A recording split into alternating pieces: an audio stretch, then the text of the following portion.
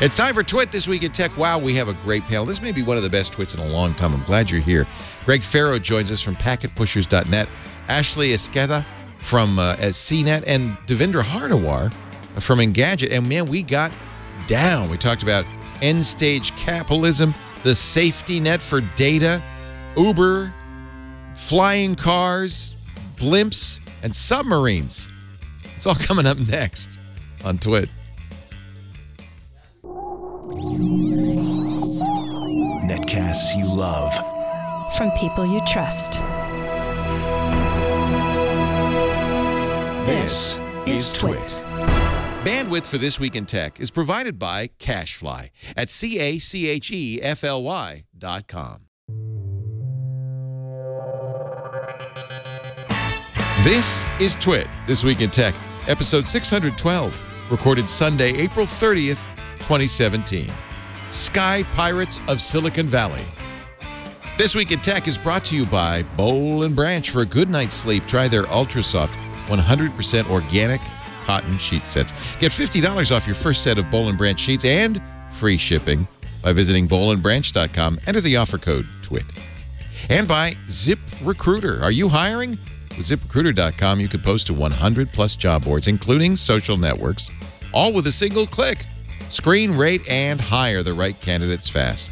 Try ZipRecruiter free at ziprecruiter.com slash twit. And by Blue Apron, the number one fresh ingredient and recipe delivery service in the country.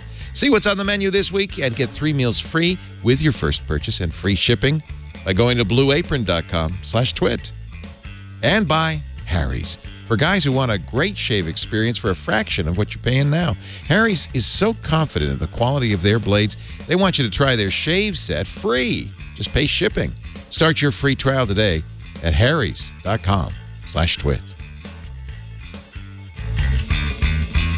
It's time for Twit This Week in Tech, the show where we talk about the week's tech news. And we're going to have fun today because some of my favorite people are on. Devindra Hardawar is your senior editor at Engadget. Hello. Hi, Devendra. Howdy. How's Tricks? How you doing? It's going with fine over here. I love I'm your busy office. with the uh, the Tribeca Film Festival. Yeah, this is my pile of books and other other gadgets. Is your office chair, which looks very uh, fancy, is it the same one as in Silicon Valley? I don't think so. No, this is the IKEA one. If you look in the wire cutter, this is the step down like uh, two hundred dollar office chair. Uh, the one they really recommend is like eight hundred bucks. I'm not going to spend that. You know money. when I'm Ashley Esqueda knows. Yes. Esqueda Yes. Knows she's uh, she laughed in a, in a, an knowing way. Hi, Ashley. Good to see you. Hi. Good to see you. It's good to see everybody. Hello. I'm thinking of that chair, and actually, Mm-hmm. uh, uh, what's his name has inherited it. It used to be the other guy's. I don't know. It's like the the Iron used to Throne. be of Tobolowsky's chair. Valley. Yeah. um, there's a this is a whole article on Forbes.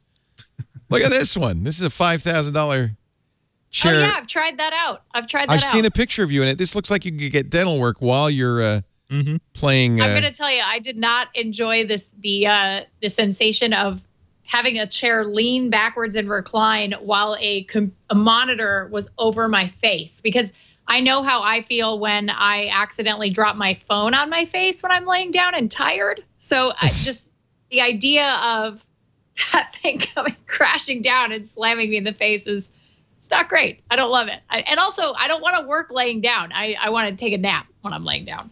so Richard Hendricks got Action Jack Barker's uh, chair. It's kind of, uh, but apparently it's real. This is a real chair, man. Yeah, it's a real chair from Scandinavian Designs, and it's not that Hey. expensive. It's only four hundred ninety nine bucks. It's called the Wow Desk Chair. Wow. Oh, that's a bargain. Look at that. Yeah, I think Devindra, you should run out and get it. I Yeah. should. Wouldn't you look Trade, good in that? trade in. Look It's at the nice color Yeah. scheme there. That's beautiful. It's interesting to look at. I like it. And it's got a good name, the Wow. hey, also with us, Greg Ferro from the Packet Pushers Network. Greg was giving us a lesson in how uh, internet infrastructure works in the uh, 21st century before the show. I'm sorry you didn't hear it. He's at Ethereal Mind on uh, Twitter. Great to have you back. Thanks so much, uh, Leo. Sorry I couldn't get there today, uh, and I just want to point out that I do have a chair, fancy chair, but I bought I couldn't I bought it secondhand, and it Oh, works out. what kind the do you, to Can't go. see it. what kind do you Yeah. have? It's It's a, it's a Herman Miller Aeron. Oh, it's an Aeron. Oh. Oh, yeah, yeah, yeah. Oh, that's uh, because, that's uh, so Getting that 1999. Yeah, yeah. But I bought it secondhand. So uh, eBay, back in the days when eBay was workable. Find a startup that's going out of business and buy all their chairs. If That's- you are in the San Francisco. Bay Area, you can have all of this for Oh, yeah. pennies on the dollar. Any startup that goes out of business, Yes. just show up. Just show up; they'll give it to you. Let me you. assure you that if I was in the Silicon Valley area, I couldn't afford to live there. Well, that's I right. promise. There's there's Uh, Your house and would, in fact, be that chair. That's Yeah, that's literally it. yeah, there'd be a, a meter of either side. That would be about all I could afford. Uh, I have Right, looked into that's it several times, but I've never been able to. Uh, I just can't afford to live there. I, it's it's uh, way too expensive. oh, but we love it here, don't we? Ashley, I forget. Yeah. Are you in the east? You're in L.A., I aren't you? definitely am not in San Francisco. I'm in LA. Yeah, Mm. where all the real TV people are. That's and, right. And Devindra's in New York, and uh, today Mm-hmm. uh, Greg's joining us from the UK. Where in where in England? Uh, Cheltenham, in the centre, just near GCHQ. They're probably tuned into us, right? Nice, nice. Good to have them. It's glad it's an international show today. It is great. Great, uh, great location. I love that. Uh, that's thank you, Skype. So, earn, this was the week of earnings. Amazon and Microsoft and uh, and Google via its Alphabet, and all three of them actually uh, did very well in the cloud. This was this was the quarter the cloud showed its strength. Um, both at Amazon. Now, Amazon, it's you can't really judge from uh, because Jeff Bezos has a big knob or a lever or something in his office that has profit on one side and and debit on the other, and he decides exactly how much he wants to make in any given quarter. Total net income uh, up to 724 million, a million, a million with an M, million, nothing. Woof. Nothing. um, but a lot of it from uh, cloud. Microsoft's Azure cloud business grew 93% year over year, almost doubled year over year. And that made a big difference in Microsoft's uh, bottom line. Uh, Google, which makes, of course, most of its money uh, in advertising and made a huge amount in advertising, still did pretty well with the cloud platform. They said in their uh, analyst call, Ruth Porat, their CFO, said the fastest growing business, uh, one of the company's fastest growing businesses was uh, the Google Cloud platform. Although, really, Google, phew, you want to hear numbers. Google's ad revenue has doubled since 2012. Uh, in 2016, it had 32.8% of the total ad revenue, but that that totaled. Let me see if I find the number. Just a massive profit uh, for Google and big growth. I think tw- almost 20% growth over uh, this year, uh, last That's quarter this year. So, yeah, big, That's big, big, stuff. big business. Big, big business. Well, you know they got to make all that money so that they can, uh, so that you know Larry Page can make a lot of flying jet skis. It's really, uh, it's really Yeah. compelling. You got to be able to wonder how much. Larry and Sergey are really involved day to day right now. Sergey's like, we got to make lots of money because I need an airship. He's building a blimp. have a blimp. I need it, and I Uh. we got to just make that money. So Why is it that why is it that rich middle-aged men go to they fly their own planes or make their own plane? They've always got to get into flying, right? How many times do you wake up in the morning and read the news and you know, 55-year-old so and so was flying his plane from here to there and crashed it. it's flying or it's family- yachts. Yes. And then if you're a yachtsman, there's a couple of things you do. I we worked for Paul Allen when we worked at Tech TV, and very famously, he built a submarine in his yacht. and so there's a apparently there's companies that make submarines for rich people. I don't mean like mm-hmm. little submersibles. I mean submarines. And and and How else are they going to play Battleship, Leo? How else? so yachts, so yachts are for billionaires. yeah. Millionaires play with planes, right? There's, there's Yeah. you've got to get it right, right? If you go down onto the French Riviera or down onto the Greek, down in the Greek islands, you can see all the yachts pulled up, and that some of them have not just the submarine, but two tenders, so two little boats as well. So that if they come into the harbour and they want to go to the other side of the harbour, they get in the boat and drive across the harbour. They don't walk around or catch a taxi. They get a, a special boat put out over the side. I'm mean, just waiting for was the a- flying boats. Like that's the logical flying conclusion boats, here, yeah. right? Where's where's my Yeah. flying pontoon uh, jet ski? That's, I mean, The funny, the funniest thing was we were told that Paul Allen built his boat with a submarine in the belly because he didn't like to jump when he scuba dived. He didn't like to jump in the water. Aw. He li- he liked to emerge into the water. So Gotta have Make it so. have Make it so. No words. Yeah. It's- you I know mean, what? I, look, if I was a Silicon Valley billionaire along uh, in the vein of a Bill Gates or a Jeff Bezos, I mean, look, the rocket stuff I get. Like, let's all go to space. But also, I'd be putting so much money into having robot servants, like humanoid robots. Or that's that's the thing I want. That's the sign of true wealth to have little robot servants that look just like you. You make like a little bunch of robot clones walking around your house, like, "Hello, Ashley. So nice to see you today." Oh, hi, Ashley. Thank you. I lo- thank you. I do look fabulous. Like, yes, that's what I want. Here's an article. It's a little dated. It's from a couple of years back. The world's most expensive luxury submarines. And the best one here at the bottom is called the Phoenix. It's an only $80 million, 10 bedrooms, a gymnasium, wine cellar, jacuzzi, operates at a 1,000 feet, 213 feet long, Is this 5,000. company still in business? Yeah, that doesn't really exist. That that's they a only need to sell one. They're like, look, guys, Yeah. we just got to sell one. That's all we got to do. How about the Seattle? It's a 108. also render. It's a, it's Yeah. they're renders. Well, because how many Because people no one's ever ordered one. You Yeah. think? Mm. I, these things don't They exist make until them- Oh, somebody builds you know them. what, guys? real. Because Yeah, there they're go. submarines and we've never seen them This one is Paul under Allen's. the radar. and he built it to look like the Beatles' yellow submarine. Wow. course. It can stay mean, underwater for a week. It's good. not as big. It's only 40 feet. He also owns a $200 million yacht called Octopus, which has two helicopters, seven boats, a crew of 60, and costs $384,000 a week to keep Wow. running. But I love it that he built his submarine as a yellow submarine. I think that's Paul likes rock and roll, right? Of If you're going to do it, I mean, yeah, that's what you would do. Right? man. Be hard not to sing "We All Live in" when you get in there. I bet you the crew, he pays them to sing that every time he gets Yeah, in in the submarine. yellows. Well, he, you know, he doesn't have to pay them to sing it because he has a recording studio down there as Oh, well. yeah. with a full-time out the Beatles engineer because he wants to. Anytime he wants to go down there, he wants to be able to play. Great acoustic shielding in a submarine. Sure. So, so, but more to the point, Sergey Brin is building. A, this article came out uh, this week.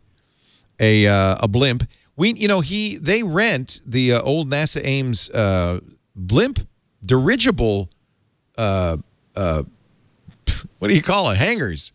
Hangers, Yeah. Uh, which were created, uh, you know, in during uh, World War II to to house dirigibles until the Hinden, Hindenburg kind of put the kibosh on the whole thing. But um, That was terrible. yeah, but but but of of course that was pre World War II. But that was because it ha- it was it was it was lighter than air, made out of hydrogen, which, as everyone knows, is kind of explosive, Slightly but flammable. slightly flammable.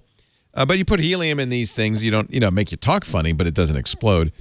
Uh, he- Well, apparently, the Germans, the Germans used hy- uh, hydrogen because that was the only gas they gas couldn't could get enough helium. Of. Yeah, Well, uh, but the Americans always used hi- uh, helium right. because they have a naturally occurring source in. Now, Um, Silicon Valley has been talking Oh, I'm about sorry. developing Some flight- some nice Bloomberg ladies talking. Never mind.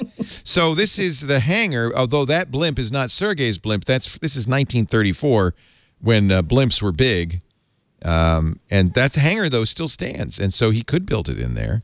I've often wondered. He bought, you know, he rented the uh, the hangars. Why not? Yeah. You know, why not? Why not? I'm a big fan of that. Why not? I mean, he's got if if it's you know if it's not coming out of the pockets of you know it's obviously coming out of our pockets in some way, but you know if I give up a little of my privacy so that Sergey can fly around in a blimp, I guess that's all right. It's pretty clear he hasn't yet taken it out for a spin because we would know. We would see, yeah. I mean, if, unless it's oh Unless my it's god, Leo, what if it's an invisible blimp? Oh yes, exactly. There we High go. tech. This is a race to whichever billionaire can build the first airship, like that they can just live on. A true airship like Yeah. Bowser and Super Mario Yeah. Brothers. I mean, like seriously, it's just propellers. They're all inside. It's made of wood. It's amazing. There's like cannons and stuff. The Sky Pirates. The Sky Pirates Sky of Silicon Pirates. Valley. That's the Yeah. next. That's next gen. so, so Google Glass has become those steampunk goggles that you used to have. Remember Oh, the steampunk hundred goggles? percent, Yeah. hundred percent. They're AR yeah. goggles. I love it. Yeah. I love all of. yep. You know, I'm gonna go. Yeah, I gotta go, guys. I gotta go write this movie right now. Actually, Right. that might solve the whole dorky glasses thing. Make them look steampunk. yeah. Yeah. Steampunk still looks dorky. Yeah, but it's dorky in a good way. I would wear steampunk goggles. I do it. You could do it. at least you could sell steampunk. You definitely couldn't sell Google Glass. You know. Yeah. Yeah. That's true. Yeah. Uh, I love this uh, this story. I'm going to jump all over today because you guys are you guys are playful, so we can have some fun. Uh, the Dark Overlord, the Dark Overlord, has apparently hacked the production company that had Orange is the New Black and a bunch of shows from ABC, Fox, National Geographic, and IFC. And they tried to blackmail Netflix. They said, We have the next season of Orange is the New Black, which comes out in June. Uh, they, and if you don't pay us, we're going to put it on the torrents. Well, Netflix just laughed at them, so they put it on the torrents on yesterday. Netflix was like, Netflix like "We big make house deal. of cards, dum dum. We know how blackmail works. Well, you can't uh, do this." yeah, right. Orange is the New Black, according to Netflix, is their most popular uh, Netflix original. I didn't know that. Very popular. Huh. They're It's a very, great show. they're very, uh, they're very cagey about giving out numbers for each of their individual shows. Mm-hmm. So that's um, that is actually a, a real key piece of information for the industry. According this is according to Variety, um, th- the studio is a, a ADR, which is what uh, something dialogue recording, additional dialogue recording. Larson Studios, they got Mm-hmm. hacked in the fall. The, Oh. and uh, but the the hacker doesn't have the whole season, just the first ten episodes. so Netflix is going, yeah, go. That's great. It's a great promo. You still have to subscribe to Netflix to find out what happens. Oh, you're not gonna get that season finale. You gotta subscribe, find out. These hackers have really good taste because uh, I feel like Orange is the New Black doesn't get as much uh, talk or as much as like House of Cards or something. Yeah, so no, you're really right. good. It's like less. great. That's this is a good hype man. It's a It's great good hype man. series. I bet you it's an inside see it. job. What a great marketing campaign by Netflix. So now you're telling me that Dark Overlord is actually a Netflix employee trying to beat up. Well, Uh, first I mean, of it's, all, Reed, it's was- first obviously of Reed all. Hastings, guys. It's obviously Reed Hastings, What? the Dark Overlord. He Jim. probably calls himself that in uh, executive meetings. what kind of what kind of hacker names himself the Dark Overlord? I mean, a very young one. this very, is very four. This is a fourteen-year-old, definitely, definitely a kid. and it. And by the way, a kid of somebody who works at that ADR house, right? Yeah. Like that's that's what we're all guessing. Is that it's gonna something like that? yeah, his Twitter uh, handle has a three in it for the in the word hacker. Oh, that's so that's leet. he's that's leet. So you know he's really. Anyway, serious. the deadline passed. He posted it, and then he did a press release. He called it a press release. Release. Oh, that's adorable. He called it a press. It's so cute. He's so adorable. He called. Uh, let's uh, let's go to the Dark Overlord hacker. Uh, no, this isn't it. Uh, I'm trying to find. There's apparently many Dark Overlords on Twitter. There's so many. I'm surprised he needed. Uh, he didn't was like the Dark Overlord 46. Oh, this is terrible. Anyway, I'm trying to find the uh, Dark Overlord press release because it's the funniest thing I ever read. Um, let me see if I, I can find it somewhere. Can you find it, Karsten? Because he he he's he's kind of. Is it is it the one where he says it didn't have to be this way? It didn't that- have to be one? this way. That was my favorite. He says uh, he says it didn't have to be this way. Netflix. Wait, can I can I just make? Would you be okay. Dark Overlord for us, Ashley I'll be Esqueda? Dark Overlord, guys. I'll All be right. Dark Overlord. It didn't have to be this way, Netflix. You're going to lose a lot of money in all of this than what our modest offer was. We're quite ashamed to breathe the same air as you. Wait a minute. What? We're quite ashamed to breathe the same air as you. So ashamed. we figured a pragmatic business such as yourself would see and understand the benefits of cooperating with a reasonable and merciful entity like ourselves. Mm. Merciful. the, we are the merciful Dark Overlord. Yeah. And I really love the end where he says, and to the others, there's still time to save yourselves. Our offers are still on the table for now. Oh. So good. I tell you what, if it, if uh, it, you know that if I ever do something like this, I am going to be the Dark Overlord, so that attribution just becomes a disaster. Like, if you're going to do this, you do not want people tracking you down. You do not want. No. This is a really good way to obfuscate people tracking you down because they're going to go like, like hitting Netflix is going to be like bad news bears. They can come after you, right? There's some smart people at Netflix. I'm the Dark wouldn't wanna be Overlord. like- you know what I mean? Like, Don't mess with me. that's right. I'm gonna get my braces off in six months, and then you'll be sorry. But please don't arrest me before prom, guys. Didn't we see this person people on have- social media? The person with the raven on the subway. Pretty sure that's Dark Overlord. I think you're right. The person with the right. live raven. Yeah. Oh, Do oh I boy. need to get my hoodie and put my hoodie on like Mr. Robot? Have a look. Yeah. Even Mr. Robot didn't call himself the Dark Overlord. Come on, kid. Come Get a, on. uh, handle. Get a good handle. Get a good handle. Come on. Dark Overlord. I love that. That's so difficult. You know, I'll tell you right now, like, if I could give you some advice, Dark Overlord, if you're watching, uh, do not hack HBO because if you take Game of Thrones, they will they will literally hire Liam Neeson to find you. have Like it will be the plot of Taken, the next Taken movie. It will be very serious. Yeah. Here's the I found the uh, Dark Overlord, who's apparently a Vincent Van Gogh fan. Oh, Uh, big time. He says, yeah, and he and uh, There's no copyright on Vincent Van Gogh. oh, Oh, he's very he's, he doesn't want to yeah doesn't want to offend Sorry. Open offend. source. Yeah, He, yeah. Oh, wouldn't, amazing. he wouldn't have to. Ashley, you do that voice very well. you will get to play the Dark Overlord when we make the Oh movie. Oh my God! In the Yeah. in the motion picture, the In Pirates motion- of Silicon Valley, the Dark Telling Overlord you. could be the villain in that movie. It'll Telling be you. great. Awesome. Awesome. Let's take a break. We're going to have fun today. We are having fun today. Ashley is, I'm trying to work on your name. I'm sorry, Esqueda.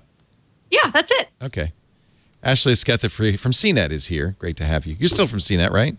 Yes. Okay. We don't have it in your lower third, but we'll fix that. Unless you don't want No, us to. just come find me. Just come find me on Twitter. That's Find I'm me on Twitter, she says. Everybody on Twitter. It's the it's the easiest, best way. And that's easy because it's A S H L E Y E S Q E D A. Couldn't you get like T, the Dark Overlord Esquet, Esquet, Esqueda? I tried the Dark Overlord with a three, but it was already taken. Follow her on Twitter, everybody. Also, Devindra Hardawar from Engadget. We're going to get him Hello. that chair. I'm sending you that chair. I love it. I love the colors because this one's just it's all black. It's, yeah, it's no, all right. tan. You got tan. Tan's the new color. And uh, Greg Ferro from the Packet Pushers Network. Great to have all three of you here, Packet The Pushers. The real Network. Dark Overlord. He is actually. yeah, that he is is true. You know what? You Overlord. probably probably is actually. Please You know, register for a true Dark Overlord on Twitter. here laughing at us, saying, "You're next, Laporte." I'm going to release this entire year's episodes of Twit in advance. in advance, and which would be great because I just go home. Please be my like, guest. all right. Please, Dark Overlord. I'll give you. I'll give you the FTP site. Just download them all. Our show today brought to you by Sheets, of all things, the best bedding in the world. You know, having a good night's sleep, uh, we're, we're learning actually is a huge part of health, sleeping well. And uh, it's one thing to have a great bed. And I know a lot of you have your Casper mattresses, but you've got to also put great sheets on those beds. And Bowl and Branch is the place to go. You will fall asleep faster. You will sleep deeper. You'll wake up ready to tackle your day. I sleep on Bowl and Branch sheets and I love them. 100% organic cotton. They start soft. You know, sometimes you'll buy sheets. I, I bought a pair of sheets and I regret it. With very, very expensive sheets, I had to wash them eight or nine times before I could sleep on them because they were like, they had a lot of starch or something. I don't know. They were crispy. These start soft and over time they get softer and you just feel like you're just living on a cloud. And by the way, Bowl and Branch sells online only, so you don't pay the department store markups, which is huge, which is like 100%. You're getting half price for twice the quality. Bowl and Branch bedding is slept on by three former U.S. presidents, countless celebrities. The reviews rave. I'm raving about it, and I want you to feel good about your sheets inside and out. They're ethically made. Every aspect of the company is geared toward making the world a better place and making your sleep better.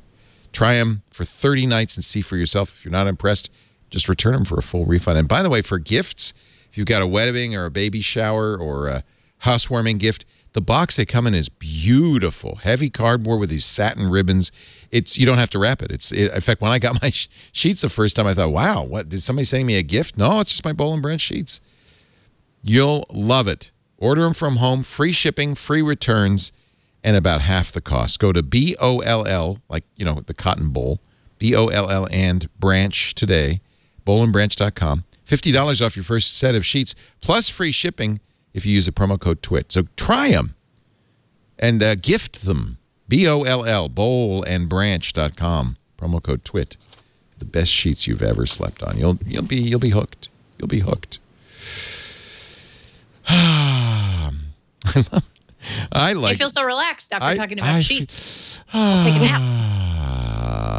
I like your banner on your Twitter, Ashley. Oh, thank you. Those are your glass. Now, do you have many pairs of these or just one? So, uh, funny story. I've had I've been accused many times of having fake hipster glasses. Like you, Uh, like You you don't need them. like yeah like i don't need them um well you can see the reflection here that i do have a, a prescription in there uh i don't need them to see close up so technically right now i could take them off and be fine and, and read stuff online um but uh, i need them to see far away and i actually have three pairs of these glasses i um i bought the last two pairs that LA Eyeworks ever had they Wow. discontinued them last year and uh, they They're called me and cool. said They called you. them They know it's your And, um, trademark. yeah and uh, well i just i uh this is my signature pair of glasses and so i have other pairs you can see them actually right back here yeah, but what are you going to do? thing um i so i have uh i have one pair that is a pristine pair that is no joke in a uh storage uh safety deposit box at my bank Are they insured?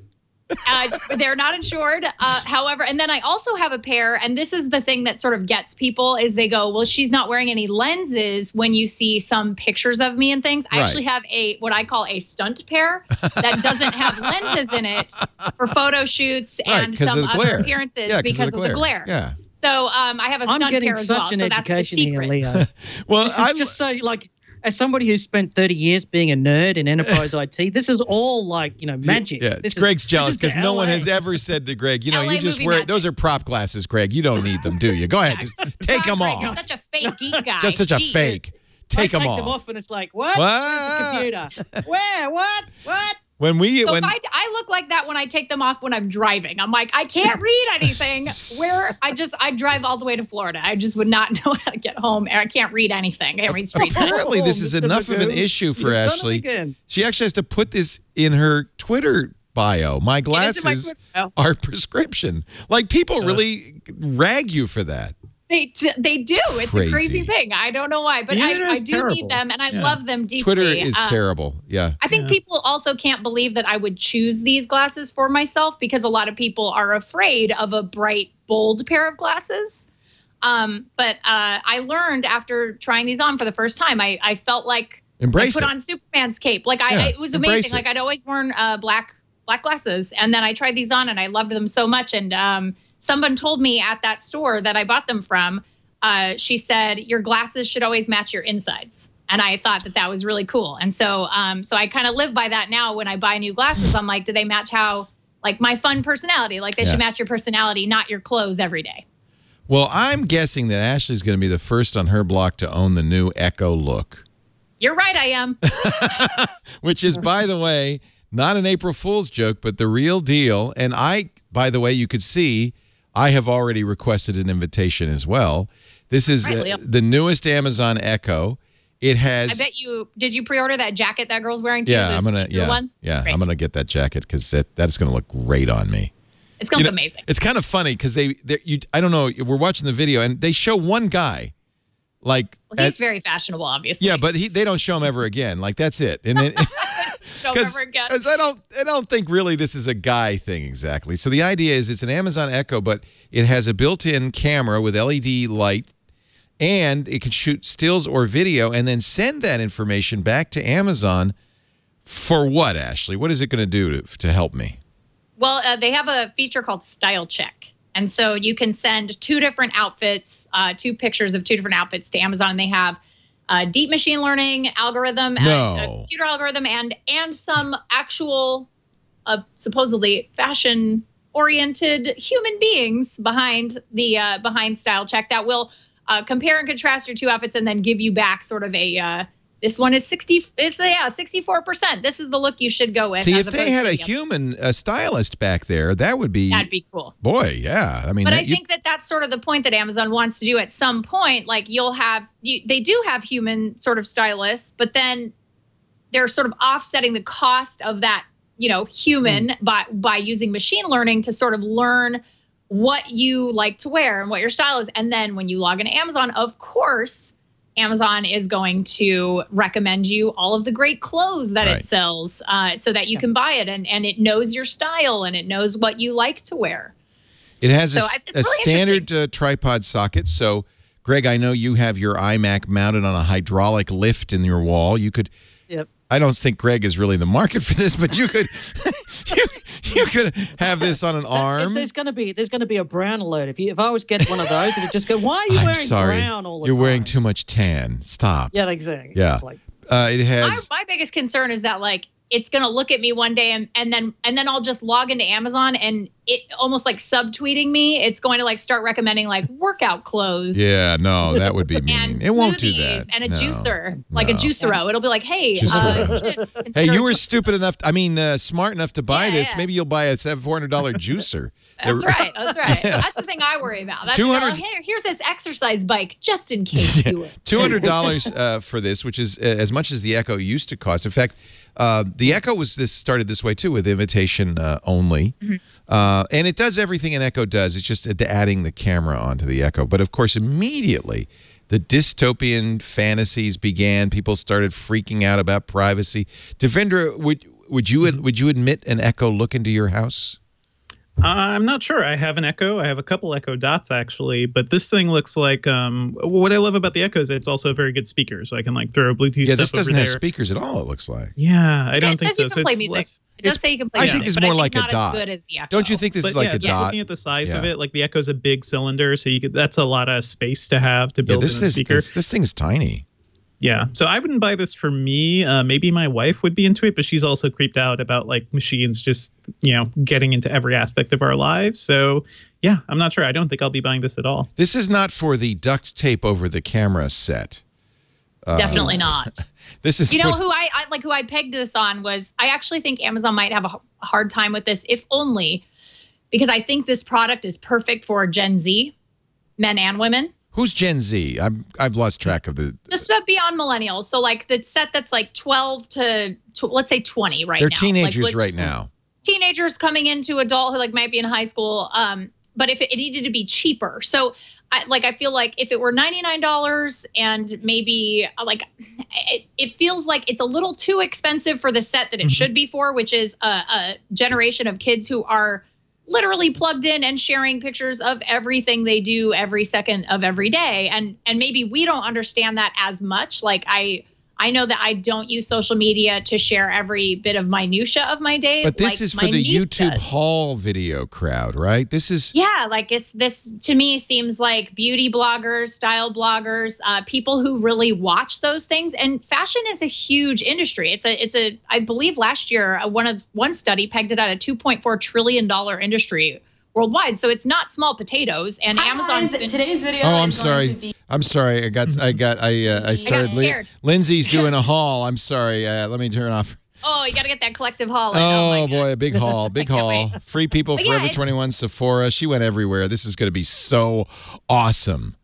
This is But it's a totally huge the history. audience for this, right? it's totally the audience for this and it's to say like oh here's my lookbook for spring or whatever it's like the you know these hmm. beauty bloggers they'll put together a lookbook they'll set up a whole set so that their look can take pictures of them in a very specific place in their house or hmm. apartment like that is to They're me not- no, they're not. That that- crew, I disagree with that. That crew is not going to use the crappy camera in a 200 buck um, piece of hmm. rubbish that Amazon's going to flog to everybody.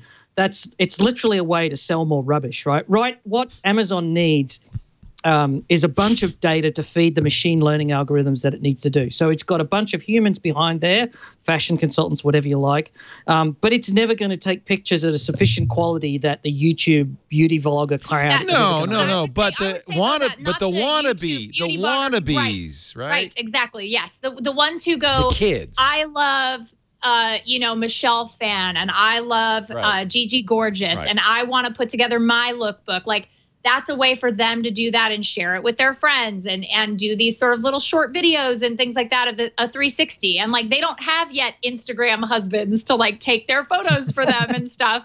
And like that's literally exactly Wait- who wait this is for. Wait a I'm minute, wait a telling you. Well, What, wait a minute. well- what, what's an Instagram husband? Have you ever seen Pretty that? Uh, it's a parody. It's a par. There's a great parody video on this where uh, it's Instagram husbands are these guys that like you know your significant other is really into Instagram and is like help me get the perfect shot and it's always the he's the photographer for Oh. like this. It's beautifully Oh, curated. Yeah, I might be an Instagram husband. I don't. I don't know. Here's an, here's the here's the parody video. It's a great little parody video. It Yeah. makes every time I see it, it just it's so perfect and well done. He's there like, are a help bunch of apps that do similar things too. So I think this is this camera is meant to replace some of those, like the people just Yeah. taking a photo in front of the mirror. Right. Um, but I think that would be much more useful, and that would that sort of visual data, data would be good for Amazon too. So Yeah. yeah, I'm not Yes, sure who needs this hardware yet. Yeah. Yeah, at this Yeah, point. keep in mind, So this is where Google YouTube has uh, Google has such an advantage over its competitors. Just to nerd out on this a little bit, is that YouTube is full of all this fashion data, and Google can go in with its uh, machine learning and its pseudo artificial intelligence and start mining the data sets that it's got from YouTube to start putting this data together. So if it decides that fashion is its thing, then it can just take that data and do that. Amazon's got to build a data set. So how do you get pictures of fashion? And in fact, this is going to build a very beautiful data set for training machine learning because you're going to get real people in fixed forms, like in the home, trying on different um, outfits mm-hmm. and colors and things. And you're going to be able to build the most comprehensive data set for feeding into the ML algorithms to get recommendation engine coming out the other side. It's a great way of exploiting same resolution, um, same size. Like it's so e- it'd be so easy to process. It's my new. I have a dot in every room. It's my closet echo. I need an echo in every room, including my walk-in closet, and that's exactly where it's going to be.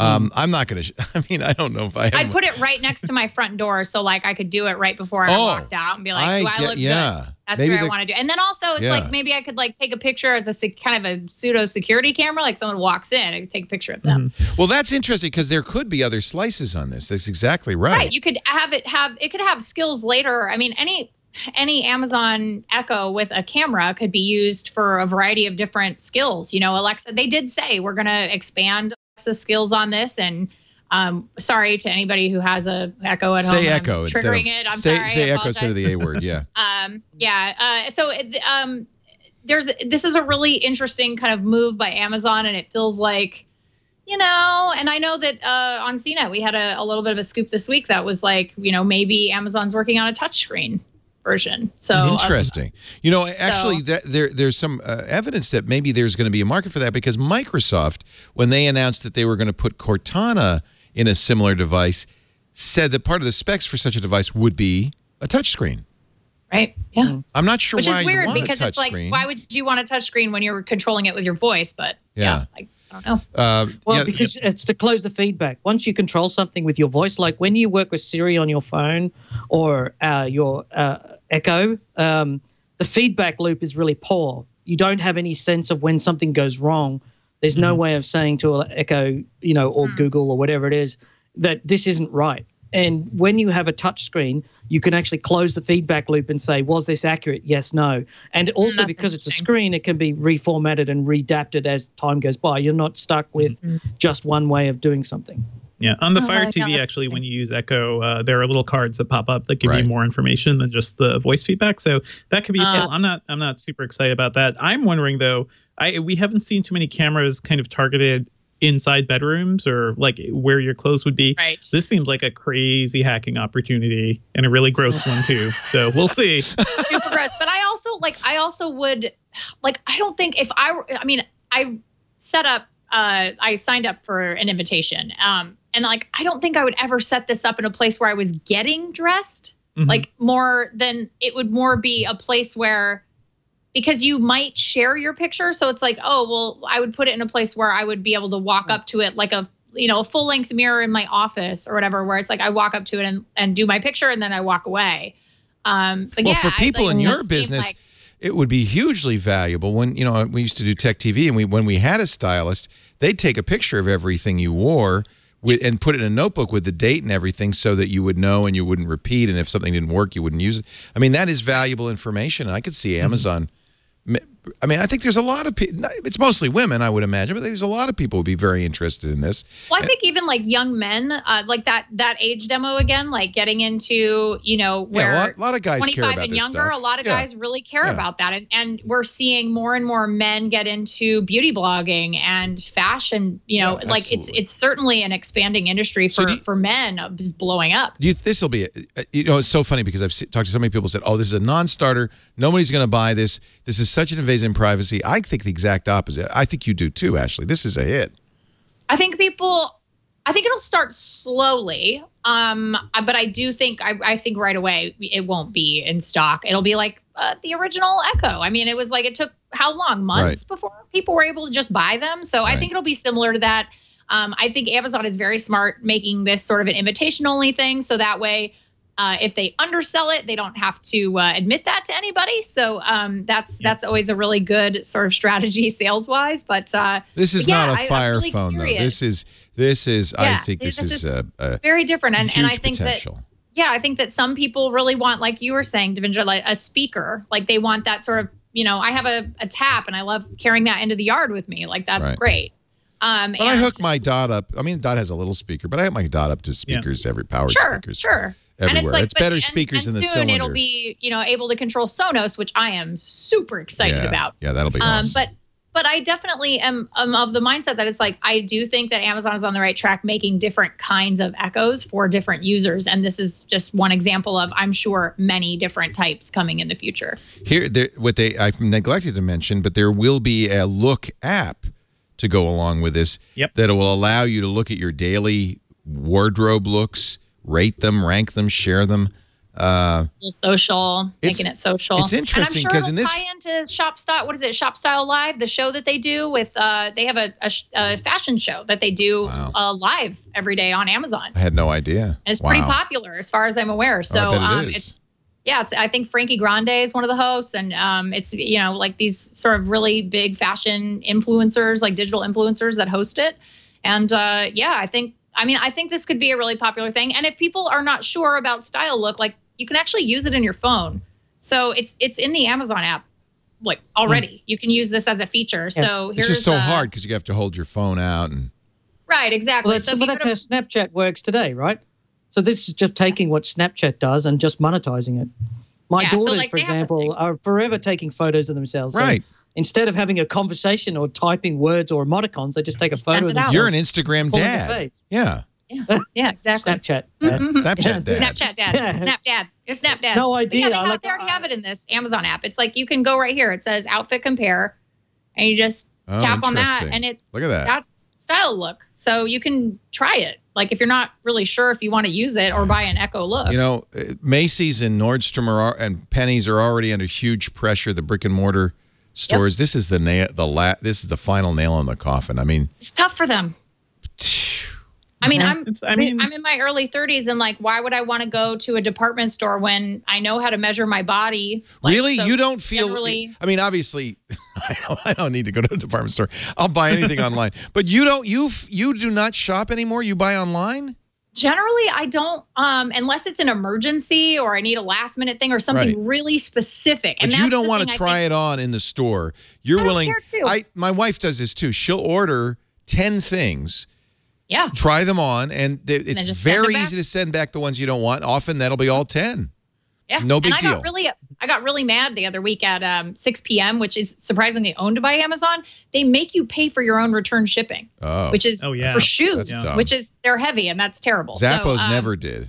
Yeah. Yeah, Zappos doesn't do that, but Yeah. they both are owned by Amazon, which is Right. super bizarre. You know, that's bringing just up uh, retail, by the way, is a good point because going to retail, talking to somebody there, saying like, you know, do you guys have anything that you would recommend, or Hmm. just somebody you can ask, like, how does this look on me? That is the feedback loop that they're kind of trying Right. to close on online. So that could be interesting. Yeah. I see a couple Yeah, and of also, I'm interesting trends. I don't really want to ask somebody in a department store like, "Hey, does this Mm-hmm. look good on me?" Because you don't know I don't they know are. if I trust them. I don't. Right. I don't know what their fashion sense is. But if a computer is learning about my fashion and Right. saying, "Okay, yes, this looks better on you than this," then like maybe I trust a computer a little bit more. But also, uh, like my Twitter bio says, I want to be a robot when I grow up. So there you go. right.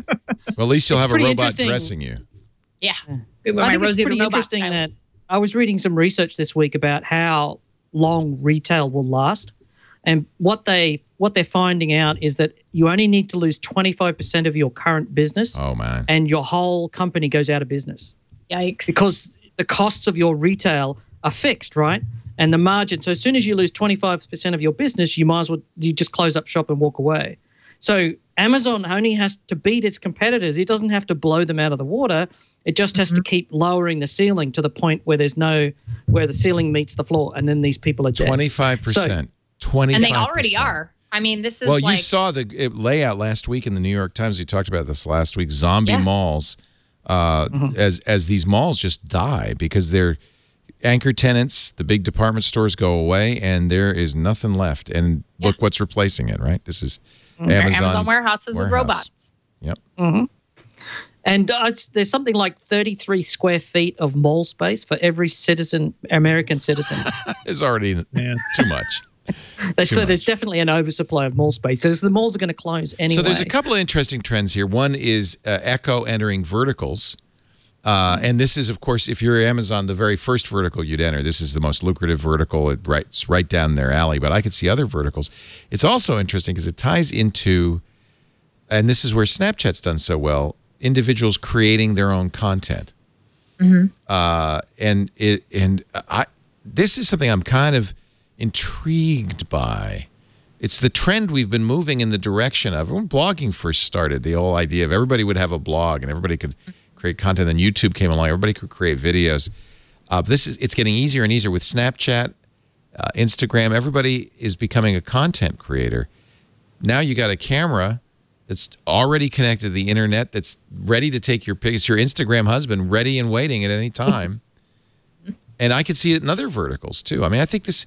I wonder if Amazon's going to start slicing off, you know, these these vertical markets, starting with the most lucrative. I was thinking it Well, would be I- really interesting for the hobby market to have something like the look, uh, but you know, with it maybe a touch screen For your or make, something like that. for your make uh, making things, or You're making something craft, your crafting, something like that. Uh, Yeah. Woodworking, uh, Yeah. you know, garage work, where you literally can watch your how-to video for whatever thing that it is you're doing. Um, you can just pull that right up. And as you point out, Greg, it's a virtuous uh, circle because they're Mm-hmm. also getting all this machine learning on the content you're providing them, and that enha- Mm-hmm. enhances That's their right. value.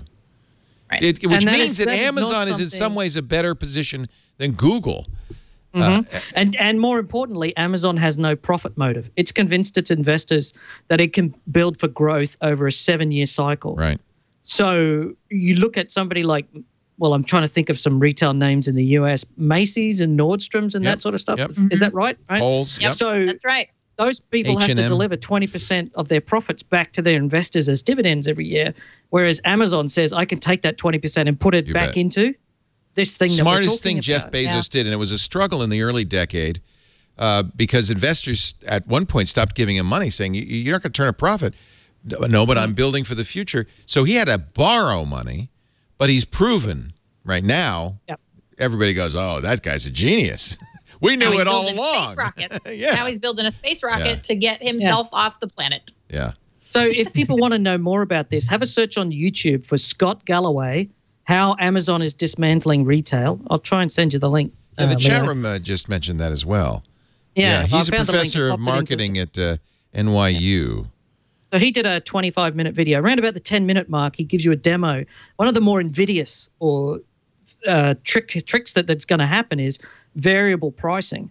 So what Amazon is is when you go onto the Amazon Echo and say, and he, he does a demo of this live on stage. Actually, he says, "Give me the price of some batteries," and it comes back with a price. And it says, "But when I did this yesterday, it gave me a price that was a dollar extra." Yeah. And so one of the interesting things is once Amazon's got you captive, um, you have this interesting situation where Amazon can give you prices that vary over time. Um, Yeah. And it's it's just amazing what they do uh, to do this. And there was a Washington Post article, I think. Hopefully, I can find it. Let me try. Uh, talking about the same thing about the death of fixed pricing uh, and how Amazon is leading that, and how much of a change that's going to make to society.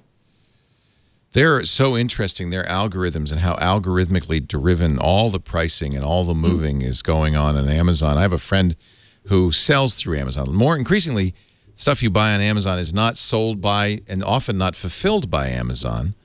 Uh, they're just a storefront for uh, mer- people selling content all over the world. He sells an air purifier that he uh, got made in China to his specifications. It's got his brand right on it, sells it on Amazon, and hmm. he noted that all of a sudden his sales tanked. He investigated and found out that Amazon was selling his product itself. Uh-huh. And, Yes. and then he changed, he dropped his price below Amazon's price, and then Amazon's price didn't go down, it went up. And he, had, he had some theories about this, but the, clearly algorithmically they were deciding whether they should compete with him or instead offer the product at a higher price, get fewer purchases, but make more money on them. It's and it's all happening as as you say, Greg, over Yep. over periods of minutes. That's right.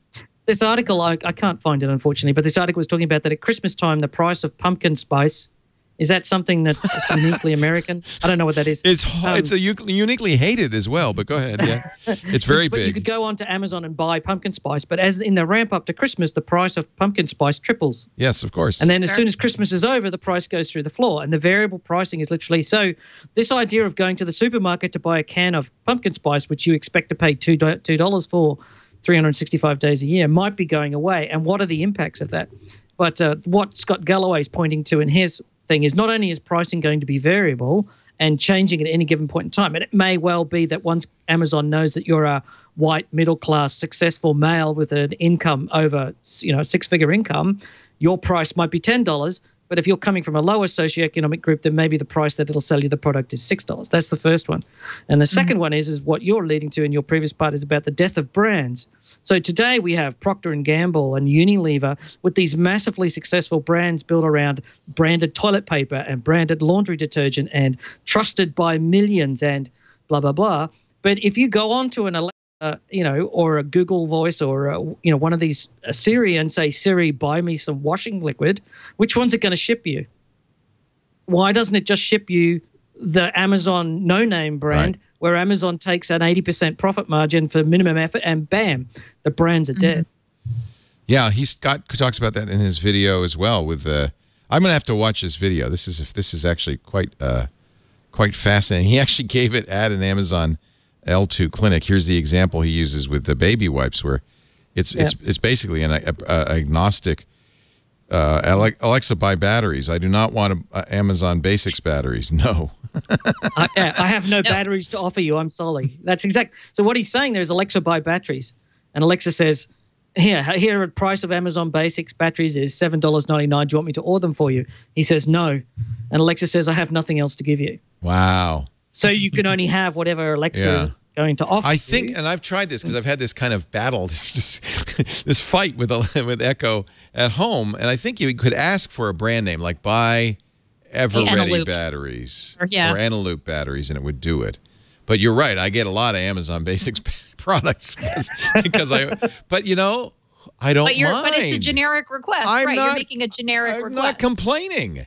Uh, and it comes two days. I didn't, you know, uh, that's one of the reasons we have dots in every room because when I run out of something, I can get it right there, right then, rather than trying to remember putting it on a list. In- Inevitably, I'll forget.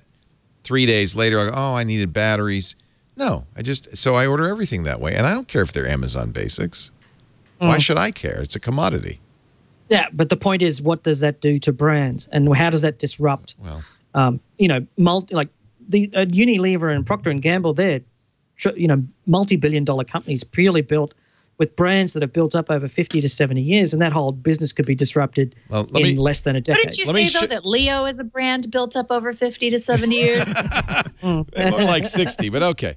Let me show you. See this box? right in between there. See? Got, got to show you this box. Look inside this box. What is this box? It's full of batteries, and it's got a dash button. Now, interestingly, Amazon is still selling dash buttons. This is an Energizer dash button, right? So when this box gets low, is this John? Where do we keep this? This is uh, right there behind the uh, desk. So if we run low on batteries, you press.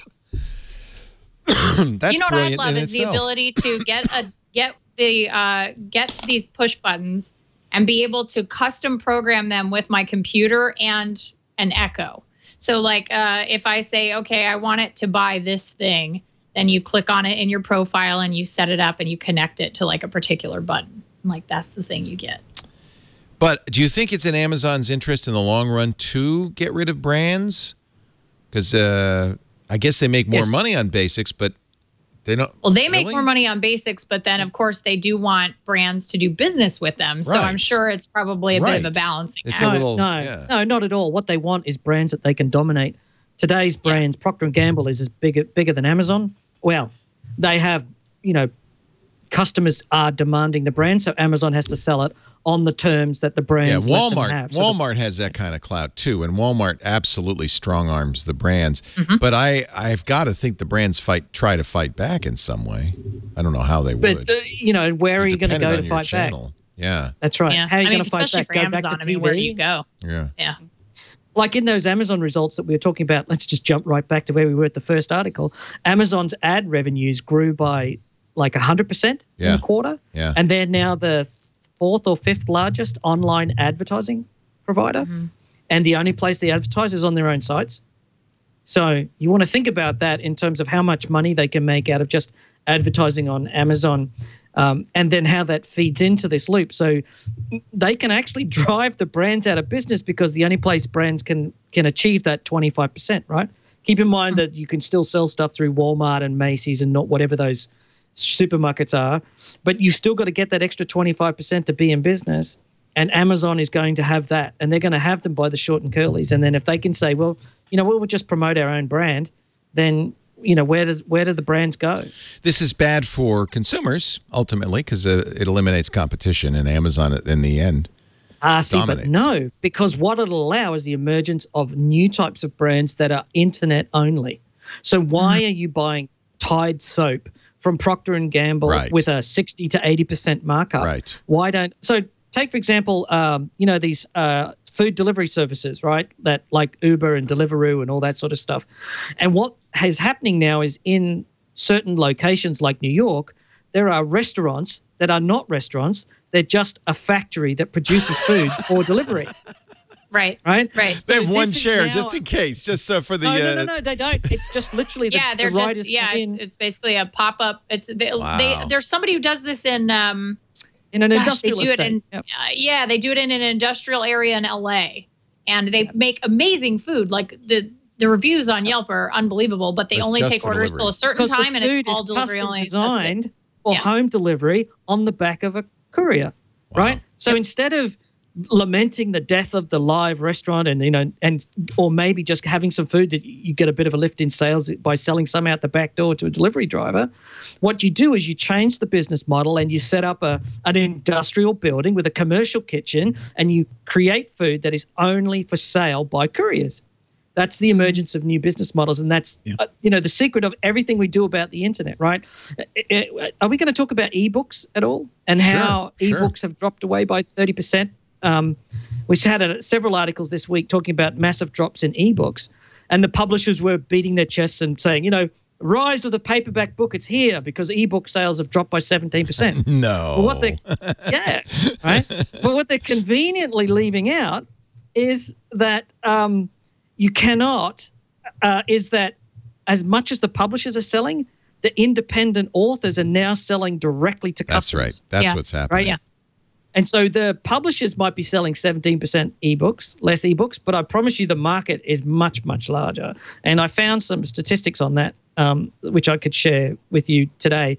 Uh, Trent Griffin was showing me the statistics. He's saying uh, indie self published books and regular retail books are something in the order of 500,000. Small to medium ebooks is 200,000, and Amazon publishing is 300,000. So what you're saying is the big five publisher ebook sales is 250,000 indie self-published plus indie self-published full books is three times the size of big five publisher sales.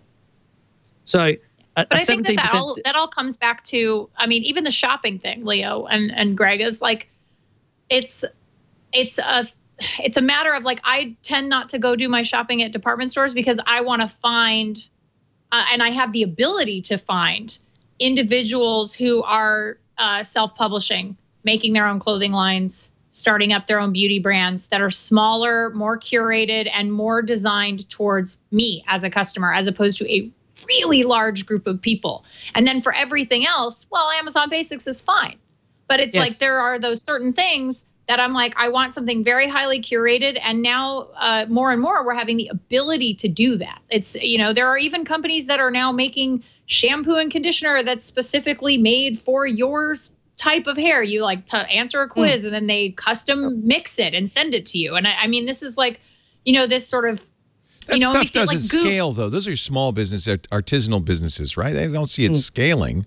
I don't Uh, think and, they and, scale, and but the they're thing aiming is at can a, a affluent market because most They're, right. Right. Because can because I don't think you can really scale on the low end anymore in such a way that would compete with an Amazon. And I think that that's sort of the that's that's kind of the really weird evolution of what's going on right now. Like I think an, a Walmart or an Amazon is you know, if you don't play ball with them, like, and you want to scale, they're going to eat your lunch. You know, It makes sense that ebooks would die because uh, you don't need a storefront for ebooks. You don't. There's no physical Sure. product. Anybody can deliver a podcast or an Yes. ebook or any digital product without help from an intermediary. Well, you need you need a storefront. You do need a digital storefront. A digital storefront. Yeah, we've had like yeah, there are random PDFs all over the internet. There, it, it's centralizing content. That's what we've learned with the App Store too, right? Like it's that's kind of Discovery just becomes the finding- issue. yeah, Discovery. and installing. Right. Yeah. because there's so much out there and it's and it's all being distributed in so many different ways. yeah. And but the point is, is that um, you might well be using Amazon as a delivery mechanism. So if you're using the Amazon online shopping experience, so there's you're seeing the emergence of startups now who build a product, and the only place you can buy it is on Amazon. Now that is a change in the retail where sure you're out there marketing and reaching users and driving sales and engagement, but when they want to buy it, so I bought some vitamins this week, um, and the, I went to the company's website to check them out. I checked them all out, and when I went to click buy, it just went to Amazon's website. That is a perfect Yeah. example of a change in business model where before they would have had to have a, a warehouse and a distribution mechanism, blah blah blah. It's they a just win. went to It's a win Amazon. all around because you feel more comfortable buying it from Amazon anyway. Right. Well, arguably, right? I'm not a huge fan of Amazon like Well, you may are. not like them, but most people say, "Oh, hey, this is even better." I know I do this. If I could buy a product from Amazon or from the vendor, I'll always buy Mm-hmm. it from Amazon if the price is the same, just because I know Amazon. I trust Yeah. Amazon. Well, the Also, point it's is, is easier. that You don't have to Two-day fill it's out a whole easier. They have my credit Yeah. card. Yeah. Yeah. Everything's already there. It's all it's it's very so, so, convenient. so, uh, if you're making a product that you can deliver yourself, a digital product, uh, there's really no reason to go through a middleman, except you do have to solve this discovery issue. You have to somehow find an audience and have the audience. And that's what influences are, are you. for. Yeah, how does how does this exactly look in this that. new era? You know, obviously, if you're making a good, if you're selling spinner fidgets, fidget spinners, you got to get somebody who's going to fulfill it. You you need somebody like Amazon, somebody with warehouses. Uh, you, you, that that makes sense, and that's going to all centralize through probably Amazon. But if you're a, if you're a podcaster or a, uh, you're an author, um, what do I mean, Devindra? You, uh, you- as a you you're a writer. As a writer, I would think that this uh, offers all sorts of interesting possibilities. Same thing for musicians, but they always come back to me and say the same thing. But how do I rise above? How do I find an audience? How, Yeah. you know, That's. I mean, I remember like when blogging first got uh, first got started. It was all about you know getting your SEO ranking up and where Yeah. you stood on Google, and then more niche things started happening. You know, Google News popped up, and then it was all about the Google News juice, and then things like Techmeme for tech bloggers. Well, like that's a thing. what that we really happened was to. demand Yeah. media, which was content tailored around search results. Flipboard. fake news. I mean, all the negatives rose to the surface. Um, Yeah. If you're, but if you're somebody who's writing, you know, if you're a Ben Thompson who's writing a stratechery, uh, you know, the the real challenge for you, I would imagine, is. I mean, it's one of the reasons you probably still work for Engadget, right? I mean, uh, you could branch out on your. I don't want to scare your employers. No, but you uh, everybody like yeah, anybody can become an independent contractor or something. Try to do everything. what stops But yeah, you from don't doing have that? an audience. Audience. Um, I mean, for me also, I like Engadget and I like the people I work with. Um, it's a site I love. And it's a thing I believe in and I want to build. Um, doing your own thing is so much more tough and so much more risky too. Um, It's I- nice. it comes it's nice waves, to get right? a health plan. It's nice It to get a paycheck every other week. Yeah. And That's all. A lot of people all- it's prefer all that. Very nice. Yeah. Um, and That's, also, that sounds nice. you See, I live I live in a country where freedom is built into the healthcare system. So Mhm. That's Anyway, an, that's you know, it, that's actually a really interesting point. different. If we had Yeah. a national health, that would Yes. change things dramatically in the U.S. because It would the, encourage people to take more risks. you'd see I much think. more entrepreneurialism. You'd see much more individual uh, startups because that would be one whole chunk. That's a big risk. College factor. too. College debt too is another really good example of that. Yeah, I mean, if you're not if So- you're not a hundred thousand dollars in Well, the hole a when you really leave good point. college, That's a you really have good some money point. to maybe start your own business. If you start know? with a clean slate, you've got health. Mm-hmm. Uh, all you need to do is make rent and food. That means it's a lot easier. The barrier entry Mm-hmm. is a lot easier, and you could take a chance on yourself. Mhm. Yeah. So that's exactly But- what. So my business, of course, is exactly that, Leo. So Packet Pushers is a five years of sweat equity, is a nighttime job, uh, building a podcast and publishing shows and blog posts week in, week out. And then two years ago, I was able to go full time and drop my salary by fifty percent. But um, we were So able to. why make, does innovation still happen here to the degree that it doesn't happen in the UK or Canada Uh, or every other just- developed nation because we're the one of the last not to offer single well, a certain, health? a certain, you know, the thing is that uh, if you've ever been in the ocean and you know dropped a little turd in there, something floats to the top, right? so, so the answer is with enough people, something's going to float to the top. You know, of, Are of you the, saying that? Man, I'm going to try to understand what you just said about And the also, United States. Okay, I don't I think think it's it was also good. that I Let like. me let me let me metaphor. see if When I can let me see if I take can figure this out. So basically, like think Go of it this Ashley. way: uh, France has bas- that has close to the population of uh, California. right. So if you're looking Why at aren't they you as know, the productive as California? sheer scale, um, well, our GDP in California, I think, is like really close to France. So I think actually it's like kind of the same. So, but oh, okay. um, oh, good. All right. but like, but if you look at just sheer scale, um, there are a lot of people who uh, try businesses and fail, and and so Mm-hmm. um, and I do think that because we have a a very uh, capitalism friendly uh, country, I think that that is an encouragement. I think that to see these um, these guys like Bezos, you could just say, uh, you could actually just, just- say it's just stop you culture. right it's and just- cultural, and despite it's cultural. the economic, despite the economic disincentives, the cult that culture always will win. People will do what what they emotionally want to do, regardless of the of the California logical is not calculus. the only place where people are successful in the world. You're Yes, so it far up your own bums. Let's face it, right? Well, we're just People using it as an really example because we because nuts, right? Leo and I live There here. is innovation happening all over the world. It doesn't just happen in California or San Francisco or Silicon Valley. It's everywhere. Like I live Yeah, in the UK. it's- it's still a it is good the point. fifth It's- largest economy in the world. There is a startup incubator just down the road that's bigger than But most money money is capital probably easier to get. Venture capital is probably easier to get in the U.S. Yeah. than it is in uh, You the can UK. get stupid ideas funded faster in the US than most places. That's right. Um, Look at the Right, Juicero. Yeah. and but I can do Mm-hmm. the same thing in London. There's no shortage of stupid startups being funded. it's There's actually very a- different though. Like I, when I used to cover like startups more directly, like international startups, it was always very different how each country would approach it. You know, France and the UK versus America. Like there is that idea. I think some countries are trapped in a sort of traditionalism where even if you're trying to do something cool and new, uh, the people around you are like, oh no, that'll never work. Like, well, I, that- I used to idea. for two uh, Yeah. several years in a row. I spoke at uh, Le Web in France, Mhm, and a lot of the purpose of Le Web is to kind of foster this kind of uh, uh, freewheeling capitalism that's that occurs in the United States. And there were definitely cultural and financial barriers to that. A Yeah. lot of it was an aversion to taking risk. Mhm. I Well, mean, they, they were very clear language about that.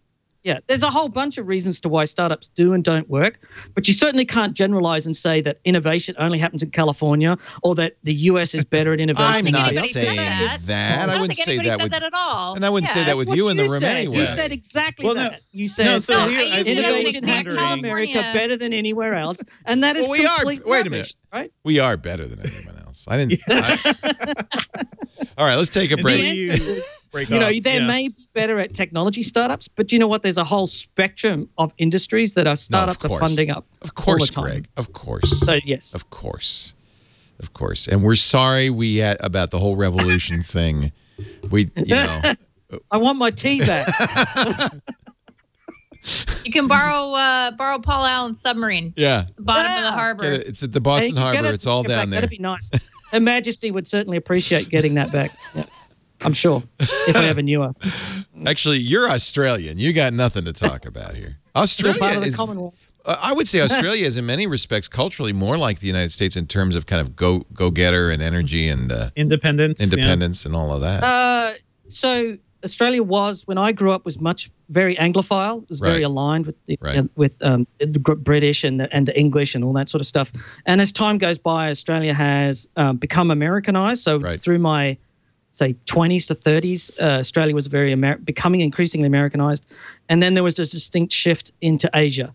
So uh, Australia realized that America really didn't uh, want to be a it's it's a love hate sort of a you know we love you this year but not so much next year Right. sort of thing and so australia turned much more towards asia so now you have this culture which is very rich because you've got asian influences very close ties with the americans but a foundation in the european cultures or particularly the english culture and it actually ends up it's n- not sufficient to make a generalization that australia is very americanized when it's actually much more asianized currently Interesting.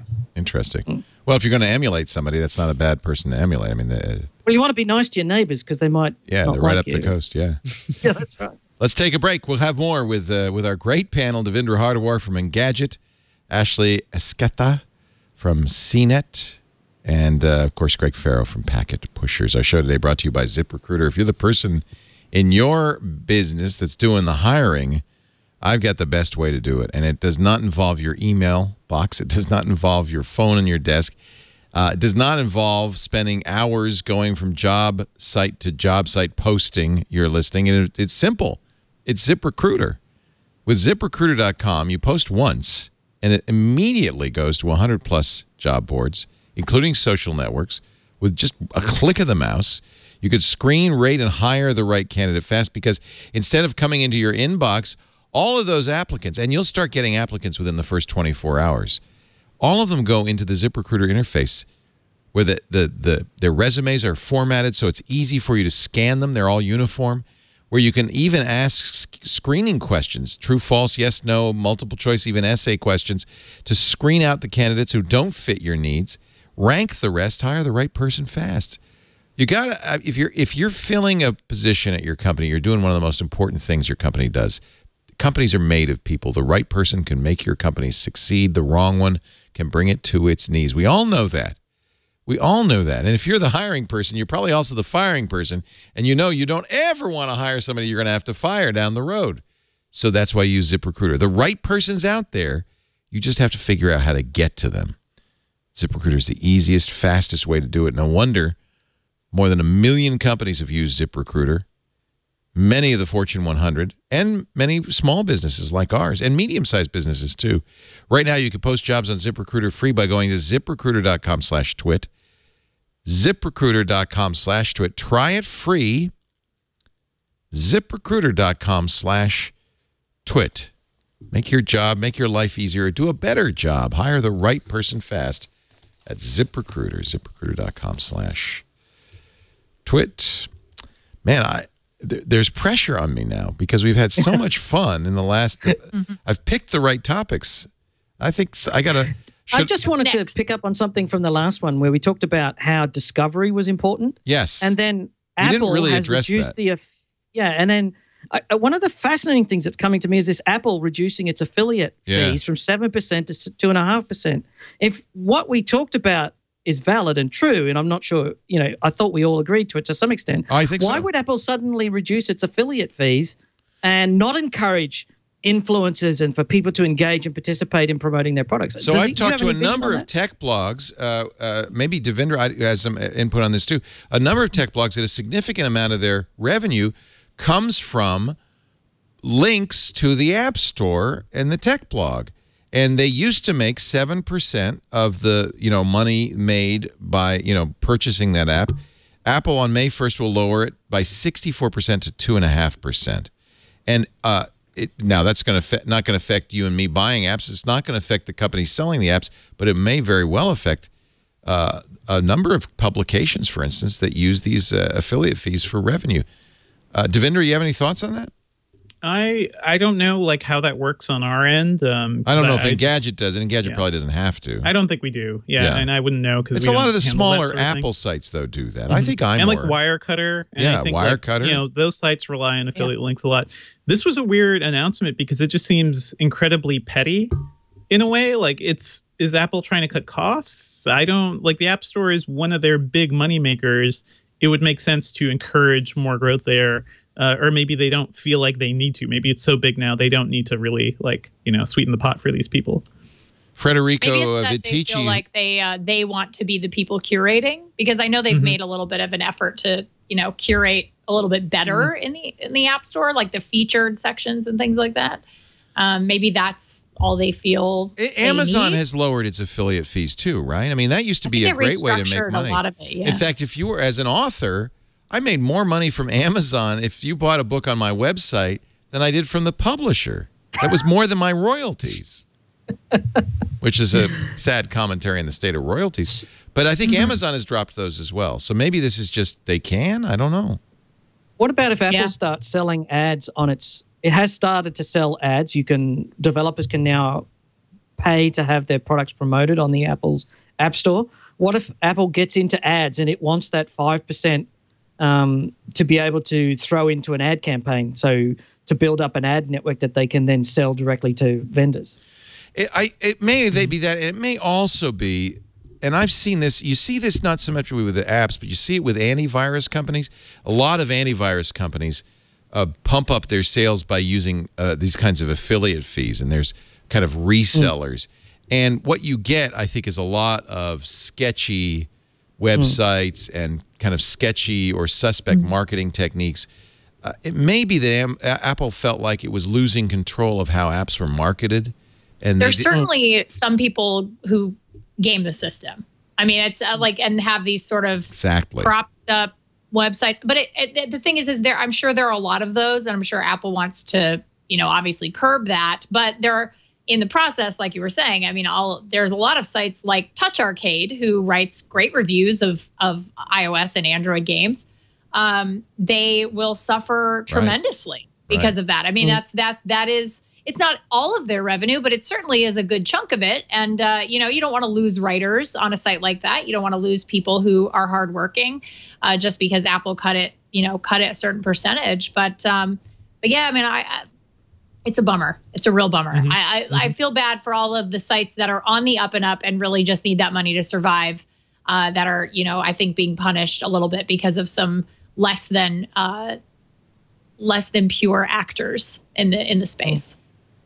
You know, you got to always remember that if you're, what is the, what is it, a dictic bird that lives on the back of a hippopotamus in a symbiotic relationship that it picks off the parasites, and you just got to hope that the hippopotamus doesn't turn around and eat you. Yeah. Or it's, Yeah. a, it's a Yeah. crocodile or an alligator. They they pick the they actually Mm-hmm. you've seen the pictures of them going in the mouth of the alligator. keep it- Alligator's sitting here with ah. They clean its teeth.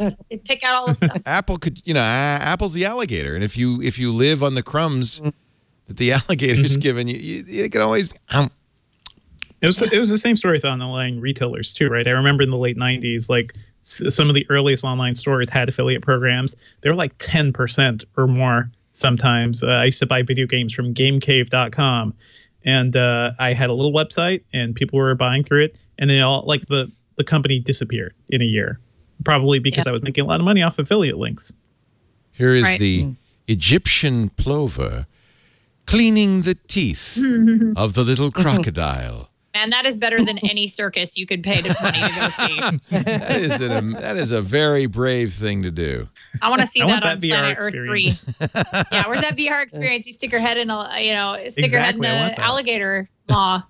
Aw, Oh, it's a crocodile. My bad. crocodile. You know, Yeah. I- what's the difference? It's all good. Look, I, I live on the West uh, Coast. I don't see either of them. So Yeah. it's, I mean, right. I've I been guess watching that's what uh, the if you don't have a tongue. eh? right. Somebody's got to Yeah. clean your teeth. Yeah, that's right. No toothbrushes. No, they no can't tongue. reach their teeth. Here's Their another- arms are too short. Here's another tiny little company suffering from Apple beating it up. Qualcomm. Oh, Apple stopped paying Qualcomm's. Uh, Who's gonna think of the little guy here, Leo? yeah. Apple stopped paying Qualcomm royalties because they say, hey, you're asking for too much.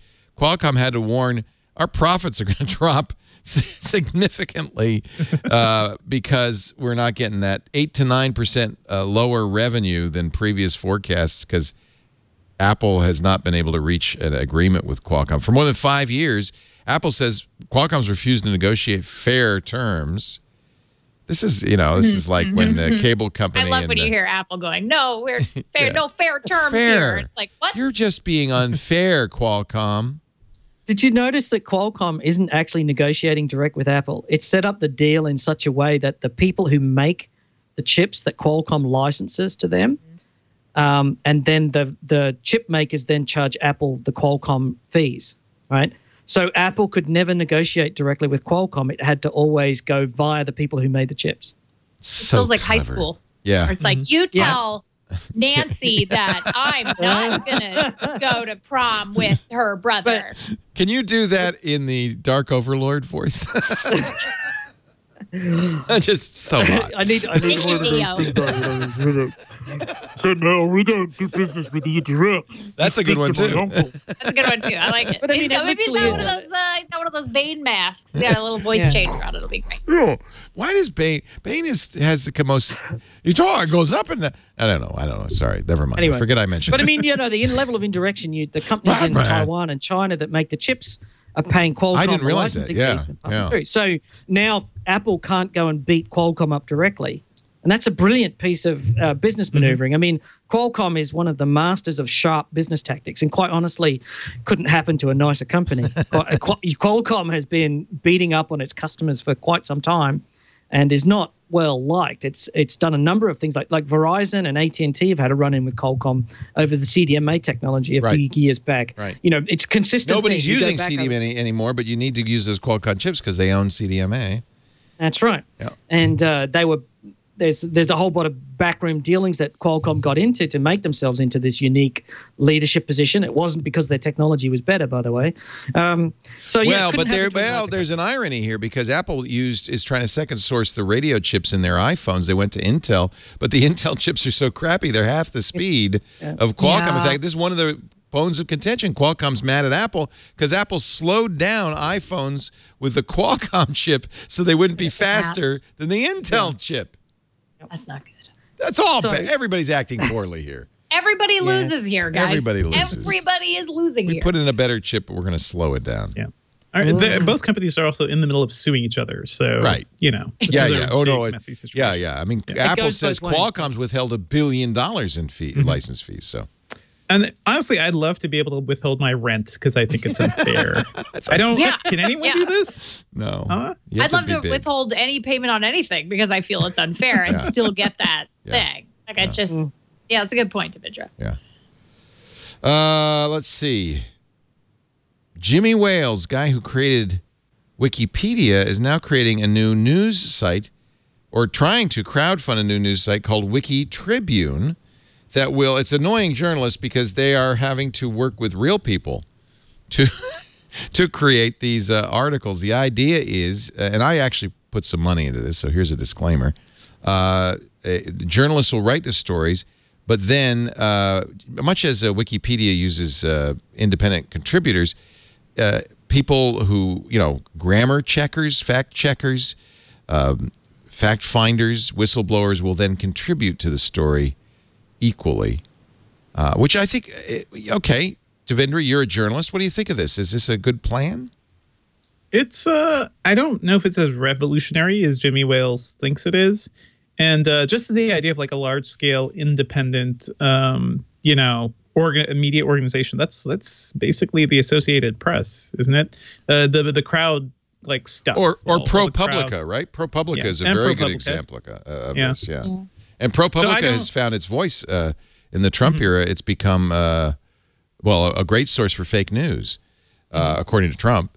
So so um, Mm-hmm. uh, I just wonder how this is not going to because the thing is is facts like we've seen facts tend to be considered like it's it's so bizarre. This whole thing has been so bizarre to kind of live through. You mean I'm the sure fake the whole fake news thing? but it's like yeah when, like, when you have something that is the truth like regardless of what side it helps like Mm-hmm. sometimes it helps one side over the other. And so people weaponize that. And so i don't i would love i would love i'm i'm very curious to see how this particular project uh makes an effort to not become weaponized because even ProPublica now, like it, like you said, they're finding their voice, but some people are arguing that that is, uh, you know, oh well, you've become liberal now, like you're, Right. you know, you're, and and so it's it's a really, it's a hard problem, and I, I it's it's tough to combat, and you know, people.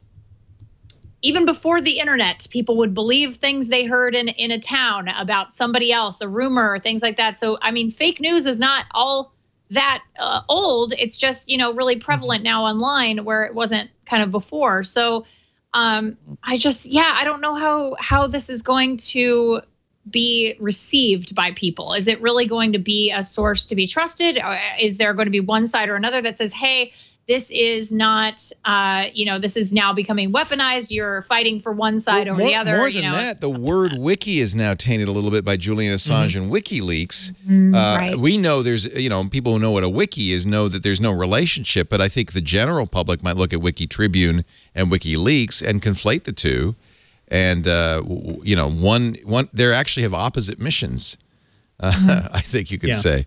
right. I just I, I don't know if this also does anything to help the the nature of the problem, right? Of fake news, because what's happening right now, um, we are in a weird environment where reality itself is in question Yes. much of the time, Yes. and that's that's the bigger problem. Like we're we're in, you know encroaching like double speak territory. Um, it sometimes feels like we're being gaslighted by some politicians who say something, and then the next day we'll be like, "Oh, I, I didn't, I didn't say that. I didn't What say made that. you I don't think know what you mean. Those lights and we don't aren't really flickering. question it as much. So Yeah. yeah, I don't know if this solves anything. What what would be really nice is if media companies like focused harder on like making sure we don't like start normalizing this weird reality we're in right now. Interesting Or, or article making by it entertainment. Like I think that's another Yeah, really big yeah. problem is that like the news has become entertainment and and this is a bigger problem than just the last, you Mhm. know, 6 months, a, a year or whatever. This has been happening for decades at this point and um you know when you when you read a quote like Jeff Zucker who is in charge of CNN uh, considering that you know this is a, a big drama to him and that he's going to bring in great for contributors business. that are yeah exactly great it's for business, he and- says. and if I bring in people that you know make this uh, almost seem like a dramatic reenactment of the news, um, I'll you know people are going to watch it and they'll be compelled to watch it. And the thing is, is just because it's interesting to look at a train wreck doesn't make it any less awful. Like, and and that's that's sort of the key there is that you know there's there's going to have to be a moment where uh, some real soul searching is going to have to happen on the part of these um, on the part of these news outlets, especially See- on cable. And I don't know that it will. So, in my view, news was always entertainment, right? It's always been you bought the newspaper to read it, and just because you happen to get uh, viable politic, you know, balanced politi- views, politics, societal information, but it was always entertainment. People would sit and read the newspaper as a way of being entertained, right?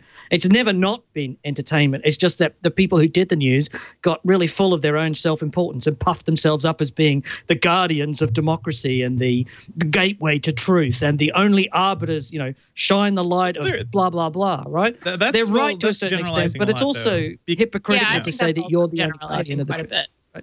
Bit. the Sorry, newspapers and are- news has always been entertainment, and that needs to adapt to Yeah. the new environment because now it has to compete against me- let me Netflix, ask you- I think to say, I, you know, see, I disagree yeah. here. I think to say that news has always been entertainment is not accurate. I think news has Mm-hmm. always been used to fill people's leisure time.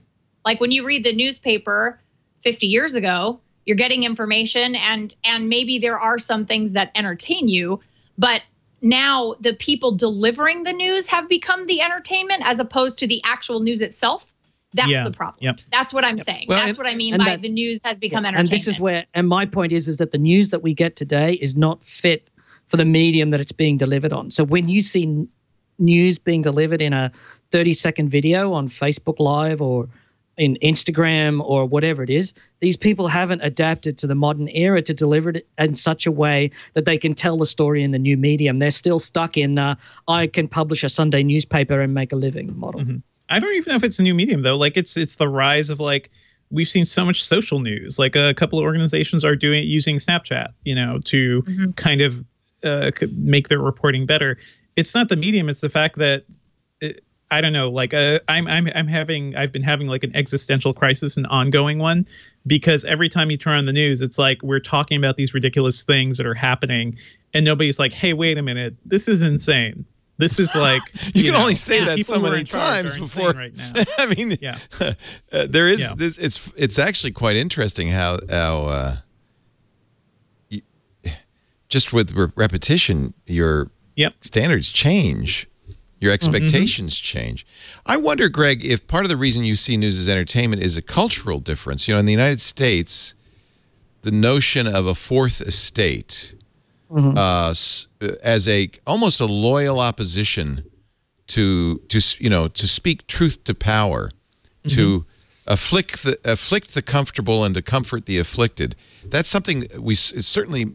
I don't know. Is it unique to the United States? I don't get the sense that the British Oh, no, press no. barons have that same attitude.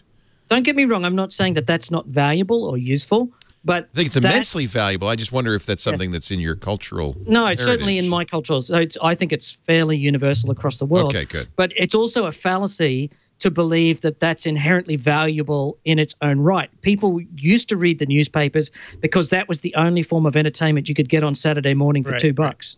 Yeah, right? you read it with your And breakfast. delivered- yeah, no, I understand. And it was delivered to your door, and it was geographically relevant to you. Hopefully, it was you know usually but the, but focused. the you get best journalism, uh, maybe despite that, but the best journalists and the best journalism always had in mind, uh, we are here, like the courts in the United States. You know, we're the the fourth branch of government. That's what the fourth estate means. We are here to make sure that those other guys stay on the up and up, and that's a not the only function, but it's a big function. But the, And the a lot word of take that's away a free It's press, not- you've got so we- you're really in trouble. There's no other way to.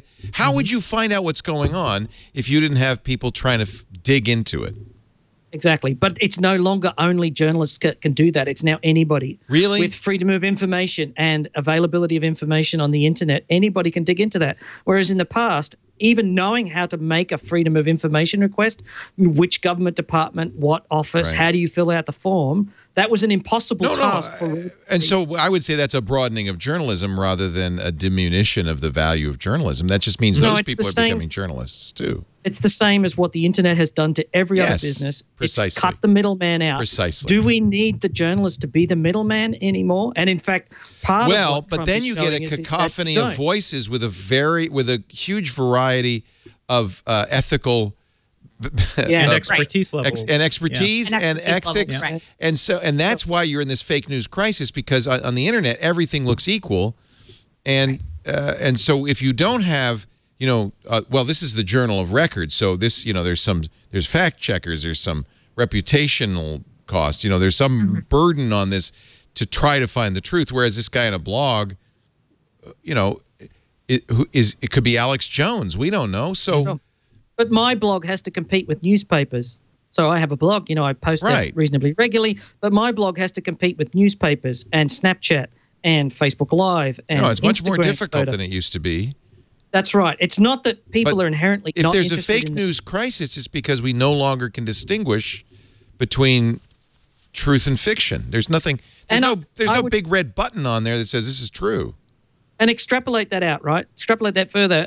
It, we have so much false advertising, so many gross lies told to us in advertising. It's very easy to sit there and say, in all the forms of media, and like even the newspaper themselves are full of advertising which is blatantly overstated or exaggerated or flat out untruthful, right? So you put the news, this thing that you just said about the fourth estate, and you just put it right next to an advertisement which is a blatant lie. Who's losing here? Right. Hmm. Well, Right. all right. Let's take it out of the realm of politics. Let's talk about medical information. so. Uh, it used to be you would go to your doctor. Your doctor would be the trusted source for for mm, you know medical information, and that clearly had flaws, uh, and it it disempowered the patient, et cetera, et cetera. Now, thanks to the internet, we can get a lot more information. Uh, you know, people. There's a huge amount of information out there, and there's absolutely no way to vet it. And uh, and and if there's a fake news crisis in politics, there's a fake news crisis in diet and health information. Sure, wellness is like a big industry now. Like wellness, let's make it about Huge. wellness. What does that? What does that even mean? And What does it mean? and and I would argue, Yeah, you know, it as uh, usually means the Paltrow, FDA is Gwyneth not Paltrow selling jade eggs that you like Wellness the ladies are supposed to buy. For but the FDA, parts. thanks to Congress, uh, the FDA doesn't weigh in on most of what people consider wellness information. Sure. It's very, you know, they don't even talk about diet supplements, But it's very let alone jade us in the eggs same- a very or magnetic like very same way. Bracelets or vaccines. And so we're we're in now in this very similar situation with health where uh, and wellness where there's just it's uh, fake Well, news is it's just as big a everything. problem. Everything. so much. There's so much of everything, and there are There, there's a sucker born every minute, and there's also a person designed to take advantage of that It's sucker good born every news minute. for the And con men of the world because it's gotten easier than ever. yes. Yes. And that, I mean, wellness basically comes down to non regulated pseudo medical products that you can self medicate safely enough, right? so the FDA doesn't regulate vitamin supplements Right. or whatever. Well, but I mean, So- there's a whole, there is a massive business in homeopathic remedies. Yes. Let And- me just. and if let me any just of you my- use homeopathic remedies, I apologize, but it's garbage science. Yeah. There's, it's, it's, it's a, it's sugar pills. It's you literally, even you can't use the word science in there. It's just garbage. it's garbage. It's garbage. It It's takes advantage of people. Uh, there and it and it's and and it drains their pocketbooks with no effect. In fact, the only the beni- the benign effect is there's no there's no effect. At least it's not Mm-hmm. going to kill you. Uh, Right. And and probably because of the placebo effect, it might even do you some good. But there is nothing regulating it. No. Yeah. You go to you go to the drugstore. There's more homeopathic stuff on the drugstore shelves than there is FDA approved stuff. Right.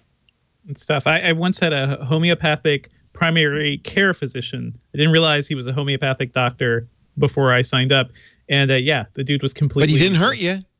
Didn't hurt me, but never You're really still helped. here. Yeah. Yeah, but didn't really help. Didn't really help. Exactly right. so I I feel like I, I, I feel bad for us because all one of the look as bad as all of those institutions were the keepers of the flame of truth uh, you know we've learned that they you know they were uh, you know corrupt or they were at least we had some idea of uh, you know, we were able to. They they helped us rate the quality of the information we're getting. At this Right. point, anybody growing up today is is there's an avalanche of information of all of equal merit. There's Right. it's very difficult. And and it, unfortunately, a lot of the fixes for fake news people promote are well, we have to learn critical thinking, and we should teach people how to follow the links and find the. No, it doesn't work. No. What do you do? Well, it's it's because humans are like we're inherently flawed in the way our belief structures are built up sometimes. So you'll find people, you know, on every side of the political spectrum believing weird stuff. The a lot of the anti-vaxxers are like, well, like that's why I want to take it out of the politics. like yeah, I want too. to take it out of politics because that's such a loaded thing. But Yeah. but but there are plenty of it. I mean, it's universal. It's universal. Yeah. Like we will believe like that's it's the problem is that humans like yeah we will believe We're going back to the dark ages when you You'll you- ignore facts. You figured out a put in front person was a witch because you weighed them as, against a duck, and the duck floated. So if they weigh the same as a duck, they're a witch. What? you We're know, back that's exactly there. We're I exactly. We're right way back to Juicero juices. Uh, Yes! Somebody made yeah. the, you know, the Juicero juices things is exactly this cognitive bias issue that we're talking about. Now about. I uh, now uh, so one of our hosts apparently knows the guy uh, and says he is a sweet, uh, honest, good person, and that the Juicero is not, uh, um, you know, wasn't an attempt to con people. He really wanted to reinvent. Uh, you know the, the the food system, et cetera, et cetera, et cetera. So I'm not going to assume. Uh, in fact, it, it's probably the case that this guy's big mistake was he made it he he made a squeezer that was really way over the top too good and he has to charge 400 bucks for it look how over designed this thing is Right. and all it's doing is squeezing a pre-juiced bag of stuff that you can Yeah. do a better job with your hand Right. Uh, but it's not his it's not like he was trying to con people he had this really this this great intentions Sometimes you overthink things. It's like doing. Uh, it's like you, you're looking at a puzzle in uh, Seventh Guest in the '90s. It's like you know you're looking at it for a million hours, and you just feel like an idiot when you figure it out because it's the simplest thing in the world. It's Yeah. the same. But the, the bigger worry is that all these investors, all these supposed like technical technology experts looked at this thing and weren't like, this is too expensive. Why is it so expensive? Can we drop these costs down? And nobody just grabbed the pouch and tried to squeeze it, you know, before Yeah. uh There was no. Well, like, yeah, this it is how much like did they was raise he raised over a hundred million dollars Yeah. it was like 400. And nobody thought to be like, "Hey, man, could I just like see that packet for a second? Yeah. Squeeze Mm. it Just want to I- test the theory." hard. So I think you need to stop focusing on the machine and focus on the fact that they build an entire supply chain here Yep. So you have to have a, a mechanism that produces fresh vegetables uh, and fruits that are then chopped and then put into these bags, and then you have to refrigerate them and you have to freight them to. So I suspect a lot of that hundred million wasn't poured into the machine. There's a back end in here, and each one of these, and this is where I mean, this is all patently stupid. But let's just go with it for a Well, minute. but that's the point is that they they saw they were Yeah. that fooled them. Uh, oh, you got to create yeah. a supply chain, and instead of them saying, "So is somebody going to pay four hundred dollars for the juicer and then subscribe for what is it? It's thirty. Uh, How much a month? $100 a month. Hundred dollars a month. Yeah. Is that a business? That's what they should have been thinking. Not oh Yeah. wow, you know, supply chain. Blah, blah, blah, blah. But that's the problem with Silicon Valley. But They- for the people who Yeah. believe that juice is good for you, which is, you know, let's leave that to one side. Um, Veggie juices. Yeah. You know, by the way, right? Alphabet put money in. They raised 120 million dollars. Alphabet, Kleiner Yep. Perkins put money into this. so remember what we said about millionaires like to fly their own planes and billionaires have yachts? That's exactly the sort of person who'd believe in this product, right? Yep. Because that's a product they want. Yeah. It's it's not a product that ordinary people are going to buy. It's not a product that Yeah. the It's not a majority of scale the populace. product. It's not a product No. for scale. I It's a product like I for still over- fund- like the supply chain and everything. I don't fundamentally see how this is different from setting up like auto delivery of fresh level like Right. good juice, a good juice brand Yes. to your house or to your office. They didn't fundamentally solve anything. So I'm just sitting here looking at They this like solve anything. dumbfounded. Yeah. It's Like, yeah. easy for us in hindsight, Hilarious. especially after seeing the videos of somebody hand squeezing the bag. It's easy for us in hindsight to say, oh, what, what were they thinking? Um, No, there, there were a lot of people before being like, "This is the dumbest thing ever," and not Gwyneth I'm not- Paltrow. It's not she all loved hindsight. it. Yeah, Hey, yeah, it's going to be on Goop, guys. And if it's Goop, you know it's good. If it's Goop, it's, is that her business, Goop? Goop. Yeah, that's her uh, her, her You know, wellness I, brand. I think she's a wonderful actor. I love her work. Uh, she's not great at names. What are her kids named? Apple? Apple and uh, Moses. Apple And their Moses. company is Goop. Well, it's very well. It's very religious. Apple and Moses. Uh, but but Goop. I like. Yeah, I don't. I, mm, I don't know. But you know what? Uh, all you have to say in the elevator, look, what look what you say in the I don't know, elevator making pitch is, we're going to do the Keurig of juice. Yep. Yeah, and people go, I'm in. I got to write a check. Mm. Who would if you'd come to some uh, look making coffee too complicated? We're going to make these pods, and the and mm-hmm. we have a thing. It punches a hole in the. Of course, the thing that punches the hole in the pods and then puts hot water through it is like eighty bucks. Not no, it's cheaper. Like that got cheap. cheaper. It's a piece That's of like plastic. fifty bucks now. Right. They get, they're getting yeah, they're big plastic water reservoirs. That's all they are. Yeah. But they they were they started out a little expensive, but they got cheaper. Yeah, I don't And think the, the pods juicero is are getting reasonable. cheaper. Right. Yeah. I mean, it's I find it for it's the insane those things. The, the Nespresso version of that is now so popular in the UK that the government has forced them to start a recycling program. Yeah, rightly so. Because I mean, Because Yeah, every cup you of can't coffee. recycle them, right? They're made out of aluminium and coffee beans, but because it's you can't put the coffee beans into the compost or Right. we have a i assume most people have a compost service and uh, and you want to recycle the cure the the cup thing which is pure aluminium but you can't so now Mm. they're talking about getting them yeah blah blah blah At, at least that was solving a problem, right? Like doing coffee right, uh, getting fresh beans and everything, and like having it fresh grinding and everything. Doing all that right is kind of tough. So having a way to simplify that is Yeah. great. We Uh, live in a country where people think juice. we live in a country where know. people think Dunkin' Donuts is good coffee.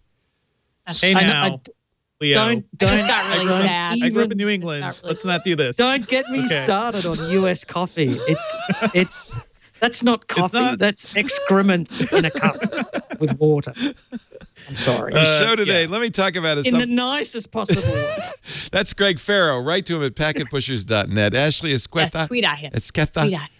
Esqueda. Ashley Yeah, that's it. Ashley a- you got it. There's no, it's a D. I didn't know this. I thought it was a TH. So it's Ashley Esqueda. Yeah, it's a Sketha. sketha, but then Sketha. yeah, that da at the end trips people up. But it just sounds like the word the at the end. It's, it's Hmm. really easy. So I've been saying it wrong again. Ashley Esqueda. Esqueda. Yeah. See, Yeah, the yeah. problem is I look at how it's spelled, and that's the problem. I shouldn't look at how it's spelled. I should think in my Yeah. mind. Ashley, E S K E T H A, Esqueda. Now it's easy. Sketha. Esqueda. Is that, it's like, is that Castil, Castil, Castilian Spanish? Sí. See. Castellano. Sí. It's a ba- Basque. Basque. Oh, it's Basque. Even better. Vasco. Basque is great. Yeah. Also uh, with us, Devindra Hardawar. You know, his name, it's just like it's spelled. Just like it's spelled. It's spelled. not I know. Hatawa. Although people, uh, you know, will mistake all the time, and my last name is so close to hardware that I almost wish it was pronounced that. Well, 'cause you that do. make You do my right for a lot Engadget. It easier. would be Yeah. better. Devindra Hardware. Yeah. That I should have- be your. built-in You should have a very special blog that's just called Devindra Hardware. Hard, hardware on Hardware hardware. on hardware. Ooh, Yeah. I yeah, like I it. love it. I'm telling you, we're moving you off Catchy. into this. You're going to be a brand. new He's a goop. brand. The new goop. and we're going to get The you the goop. chair. Oh man, I look. I look at people. People like Marques Brownlee, who's basically just taken off, Yeah. Crushing it. crushing it, and it's just Yep. all. It's one guy and a camera. Well, the, the thing is, is like guys like that are never going to come work for right, me. places like I tried to. and I tried to hire him for a long one, like- time. we can't you, you can't we can't afford a guy like that because he's just killing it. He's just making a huge amount of Mm-hmm. Money. And Right. the other thing is is like Why does he want I to would work for imagine somebody? he'd he's he's an influencer. He he Mhm. accepts money for appearances and things like that, and that's something that you know we we are not really allowed to do. Right. But Yeah. but see, there you go. There's an example of why it's so hard to know who to trust. Now, I'm, Sure. I, I'm sure Marques has very high uh, ideals and integrity, so I'm not going to say anything. But there's plenty of other bloggers out there where you don't know where their money's coming from. They do take Right. money from the companies. they're There's a very big gray area there, and but you know, and th- there are people who watch their channels and um and and implicitly trust them Right. without knowing uh, where a lot of their income comes from, and Yeah. and you know, and and they get a lot of free gear and things like Right. that, and so it's it's very much it's a really interesting time in new media. I think. Yeah. It doesn't it- what it doesn't last long if you're not if you don't have integrity or ethics in this area. People it- learn. you will very quickly be found out, and Yeah. people will quickly d- their their um, bull crapometer will go off and go. This person's obviously getting paid somewhere. It doesn't work. You have to absolutely be authentic and genuine, and if you're getting paid, you have to say so. And I know that because guess what? My business is. I get paid to appear at events. Uh, I get paid to fly to conferences. Um, we do all of our shows are sponsored, and the way that we do it is we just tell our audience this is sponsored, and you have to be genuine and authentic all the way up. And the minute that you're not is the day that you'll be you'll lose everything. Yeah, it's really a challenge. It's a, and it's changed so much, especially now. That, I mean, we we we do ads. I have to do ads, uh, and so we we have to be very careful about a letting you know this is an ad, and b when we talk about a product that we advertise. We've become very religious about disclaiming it immediately and saying, you know, this is, by the way, this is an advertiser, uh, because we're always trying to make sure that that that, that distinction is very clear. Right. And But the in an age of new media where all on- of these people are, uh, where all of these influencers and YouTubers and things are coming up in the world, uh, you know, if you're care. not They don't if you're care. not cross promoting, you're dying. I mean, like if you're not on 500 different Right. of your, you know, fellow YouTuber channels, that's Right. like you're you're dead in the water. And so, how do you Hmm. how do you compete with that? That's it's a really interesting question. It's I, like it's Well, something I think I think about it market. a lot. Right. That's the mass consumer market where uh, you need to appeal to very large numbers of people. So, somebody like Casey Neistat, 6,000 subscri- 6 million subscribers, he needs to have uh, produce a product which appeals to the largest audience because his monetization is very small.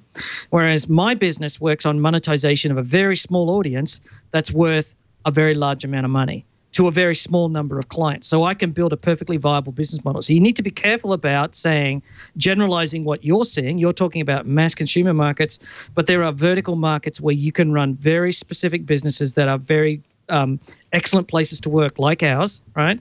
Where we only need to attract an audience of 30 or 40,000 people who have a total spending of roughly in the order of two to three billion dollars a year.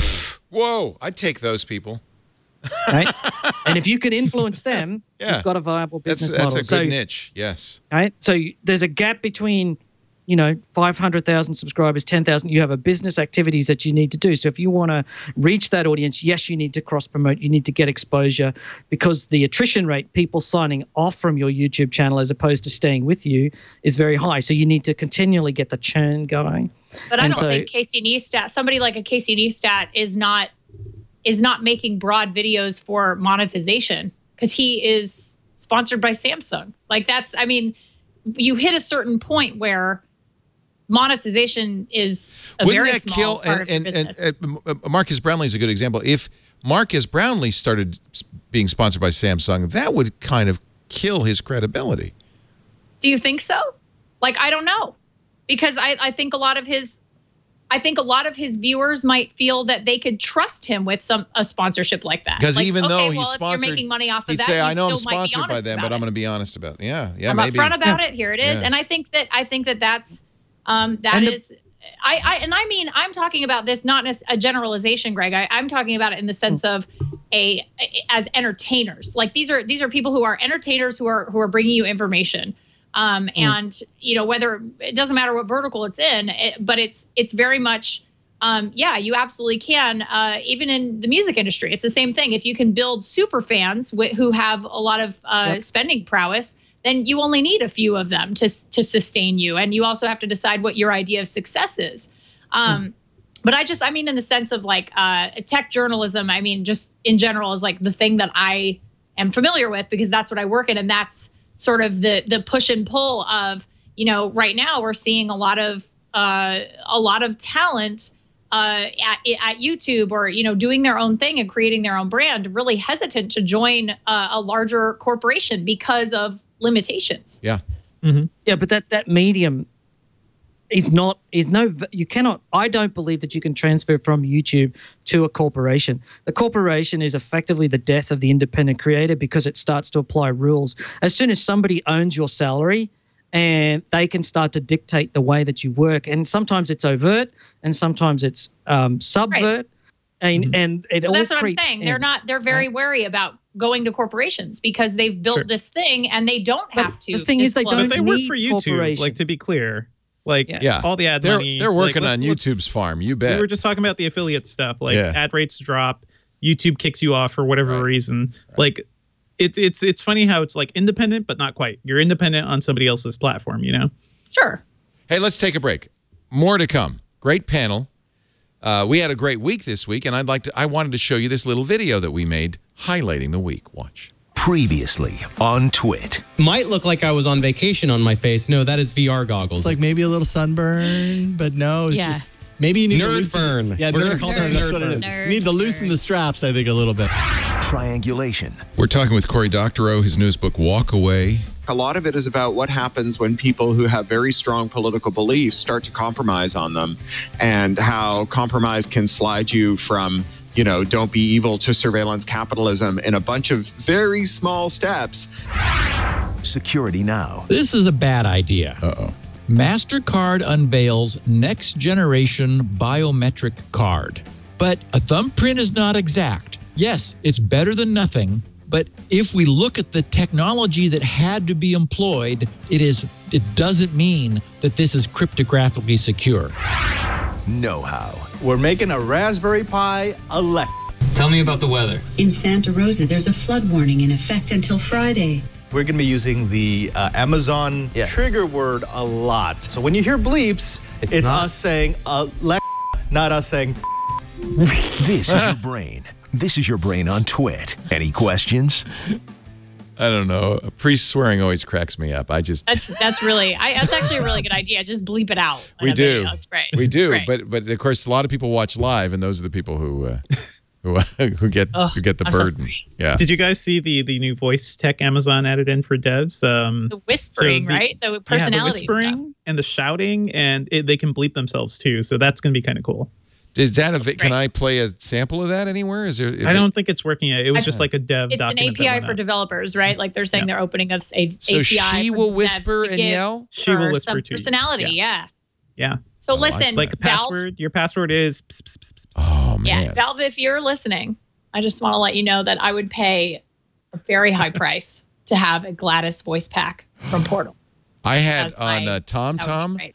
You know, TomTom let you do celebrity Yeah. voices. I had GLaDOS, Oh. but she lied. She when you were, Well, that's what you expect. I know That's when you were does. supposed to turn Yeah. right, she'd say turn left here, and then when you'd get there, she'd say, "Oh, I'm sorry, you've arrived. There's no cake." It was awesome. She's the Your destination was a lie. Your Yeah. destination Best was a lie. ever. Like she's really, Oh, I miss her. man. That's the that's the virtual assistant I want. Like I would pay any price. So you want GLaDOS? I want Scarlett Johansson. Uh, well, yeah. So from you. her, Yeah. you'd have it. Yeah, From that'd her, be really yeah. nice. Until she was- leaves She you for does the have a singularity. really nice voice. Like I, She was she's so very soothing cute. to me. She was Very cute. soothing. She has a cute voice, right? It was just like pleasant and Like you just pleasant thought and kind. a- you you feel like you you feel like she's your friend. Like her voice Yeah. really is very friendly. Yeah. I get it. That's because you're a get it. girl. I thought more than that. I thought. Well, of course. I mean, yeah. Obviously, Obviously, I know why the dudes like Scarlett Johansson's voice. She's cute. She's adorable. You just like to get to know her better. Sure, Mhm. sure. I'll never forget when my father-in-law said that about the Victoria's Secret catalog. They just seem like girls you just like to get to know Seem like better. nice girls. Nice Seem girls. Like real nice Yeah. girls. Nice. They just seem like nice. Nice girls. ladies. They're Yeah. nice ladies. Nice ladies. Uh, oh, I forgot to mention we got a great week uh, coming up. Let's take a look at what's the week. Uh, what's? uh, I'm all thrown now thinking about that. Uh, what's ahead this week, Jason? Howell? Jason?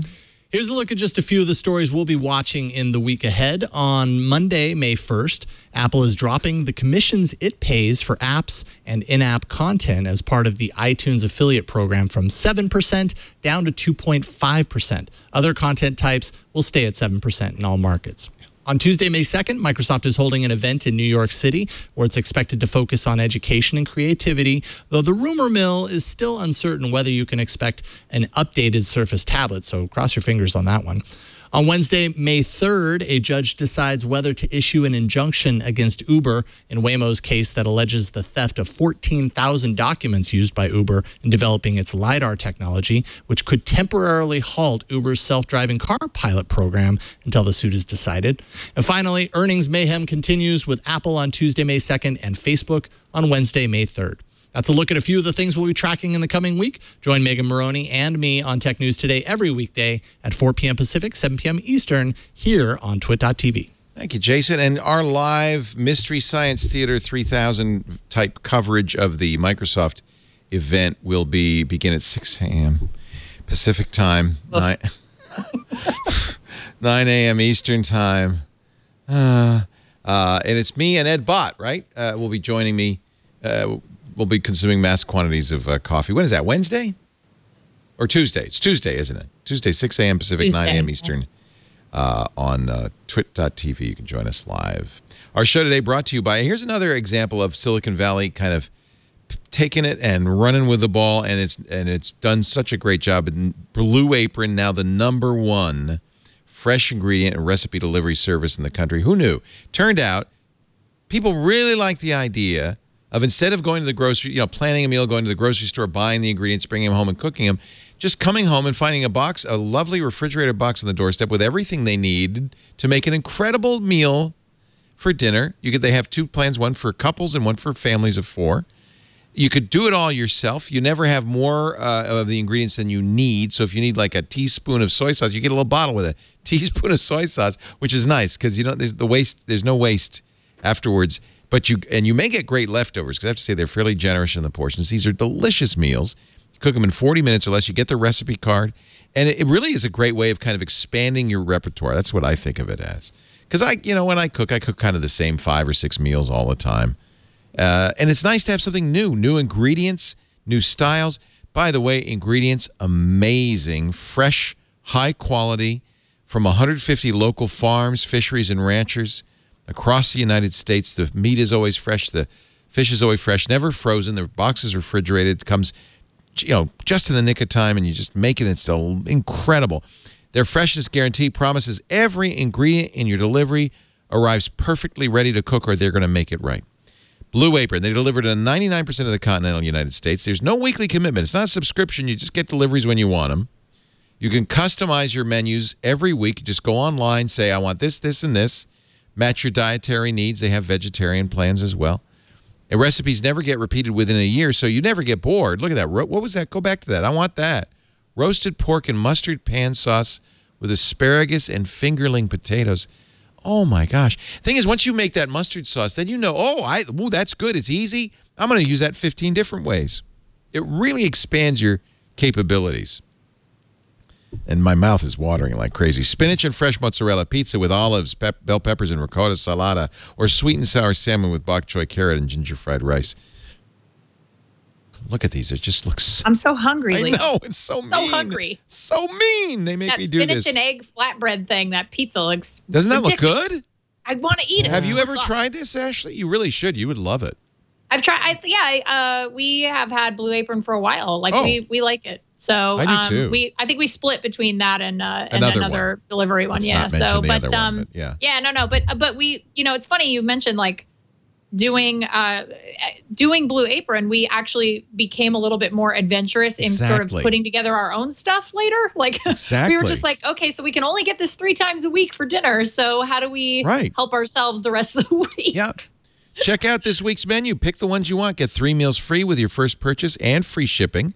It's at blueapron.com slash twit. We've been using this for, I don't know, almost a year now, and I just, I love it. Blueapron.com slash twit. And yes, it makes me hungry every time I do that ad. Ashley, is- It looks a lot more organized than me just going to the cupboard and working out what's in there. it is. And you always Yeah, make something because you've thing got the I always ingredients. like. Yeah. I always like that thing about um like I don't make a lot of Indian food, but I love it.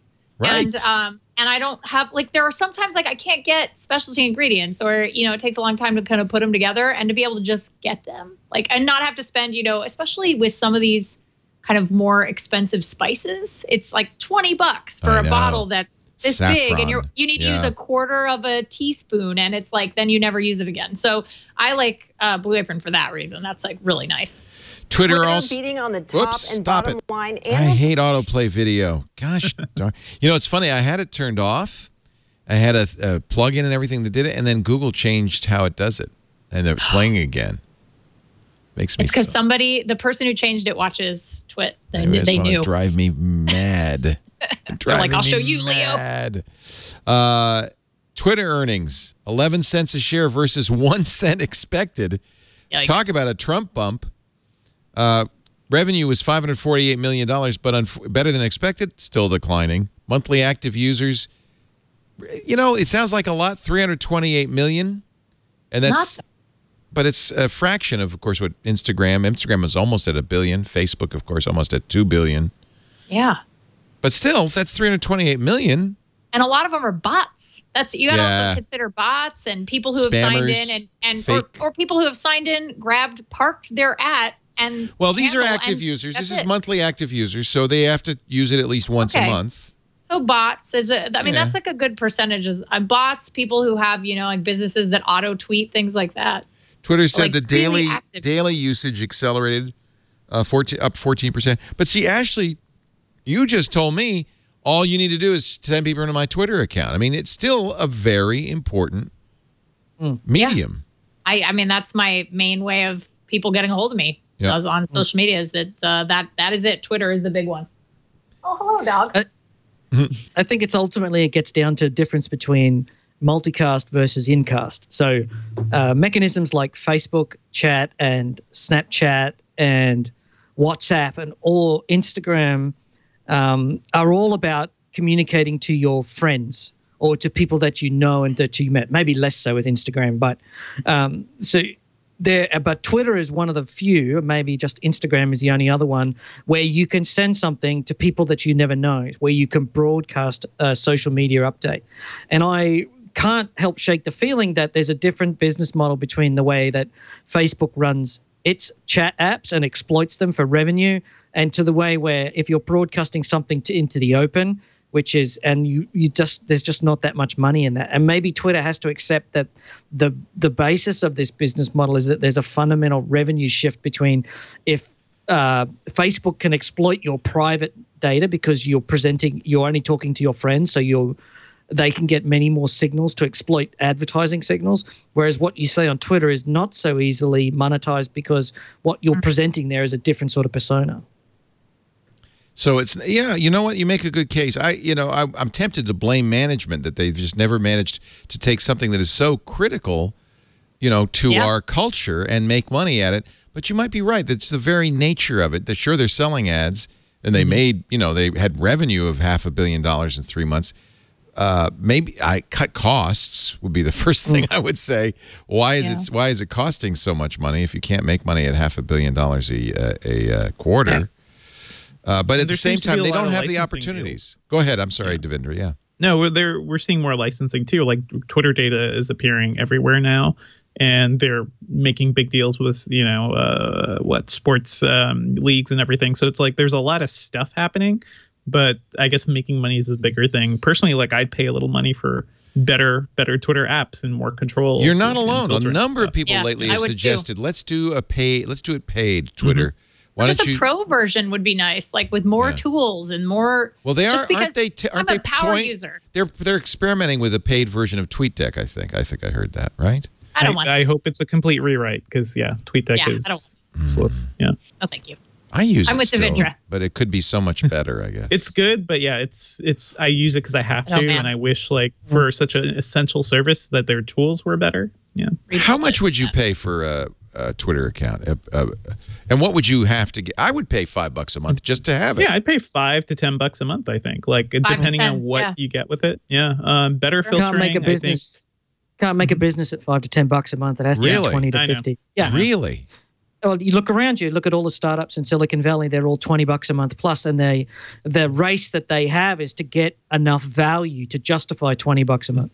Right? But Well, are, uh, are I those mean, companies not also Netflix, doing all of these not Hulu and licensing stuff like deals and all of these other things? I mean, as a power user, just to be able to pay a little extra for the same service uh, with just a few extra tools that are key to how I use it and how other people who use Twitter a lot. Um, I don't know. I mean, if they're still making money in the ways that they're doing it right now, maybe that's maybe. But uh, yeah, I don't know.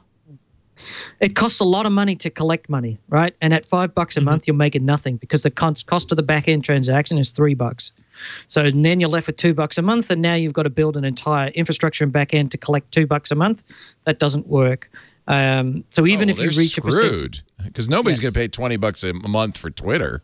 It's definitely got to be 10 to 10 to 20 bucks a month 10 because of the you way do that see- I mean, look, Netflix is around ten. I'd pay I mean, ten. yeah. I'd pay ten bucks Um, a month for Twitter if I had the right tools. I'd pay ten. Tune in internet radio. I just bought. I didn't want to buy it, Mm-hmm. but it's the only way you can. You know, there's there's certain limitations, but you get books, you get a radio station. That's a hundred bucks a year. A hundred bucks a year seems to be the Yeah. new normal, Baseline. right? Yeah. It- At 100 it- bucks a year, you can do a transaction where you ta- you lose 5 bucks in transaction fees. You need about 10 to 15 bucks to run the back end, so to have an accounting system, customer database, securing that.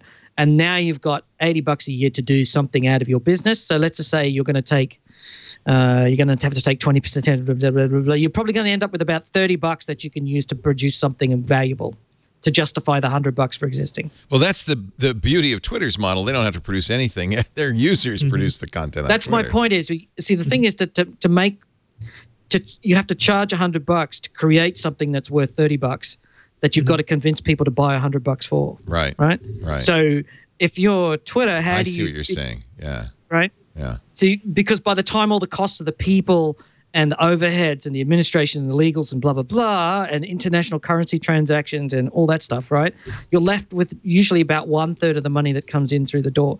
So what are you going to produce for thirty bucks that people will pay a A hundred bucks year, for? thirty bucks a year, year. and people Yes. will pay a hundred bucks for it. That's right. So now let's say you get 10 million people to pay up. So now you've got 300 million. Yeah. What are you going to get? What are you going to create for 300 million to justify your 100 bucks a year? Right. Yeah. So they're screwed. well, better better engineering. Like it seems like a big problem with Twitter is just they can't get people to fix their crap. Uh, TweetDeck Yeah. has been a mess on the web forever. Um, yeah, I, I understand. Like this may not be the most financially sound, is- you know, decision, and won't keep them alive. But maybe really doing something for these loyal users who, you know, really depend on the service as mm-hmm. like the lifeline of information. What if they build around a- the and also are the Yeah, backbone support. of the service the people Yeah. who put up all Right. of that information and, and and like memes and the things that break all the time those are power users Right. like almost mm-hmm. always and so to to not have tools for them seems like a really good way to get them to finally get fed up with it and be like well, i can't manage this anymore Right. i wash my hands of it What if you made like a really good, uh, ma- took took Twitter and made a really good juicer? yeah God. like a packet Well, I think, I, I mean, this You're might really lead us into a conversation around what Unroll Me did, Leo. Oh like, my God! There's a there. Okay, so uh, this is yes, very interesting point. Uh, Because what you're, the product, right? When you're Right. the, at Twitter, you're the product, not the, the customer. The customer is the people who gives Twitter money. That's not us. So last Sunday there was an interesting article about a profile of Mike Isaac uh, in the New York Times profiled uh, uh, Travis Kalanick, the CEO and founder of Uber. By the way, this was a good week for Uber. There were no negative stories after that one. After that one. but in that one, we learned some interesting things. One that uh, the Uber app had been, and I think we talked. Did we talk about this last Sunday? We've been talking about it all week. The Uber app had been carefully crafted uh, to, uh, you know, in violation of Apple's policies, get unique identifiers for every user of the app. And this was actually Uber trying to uh, eliminate fraud on the part of its drivers. But Apple says very clearly you cannot get identifying information and keep it. Uh, that would, you know, they were using secret APIs to do that. Apple can do it, but not uh, third-party apps. Tim Cook, uh, Uber thought, oh, we'll never get caught because we we've geo fenced our app so that it doesn't do this if you're in, if it's in Cupertino. What they forgot is Apple's a kind of a big company. They might have people outside of Cupertino anyway. The Apple figured it out.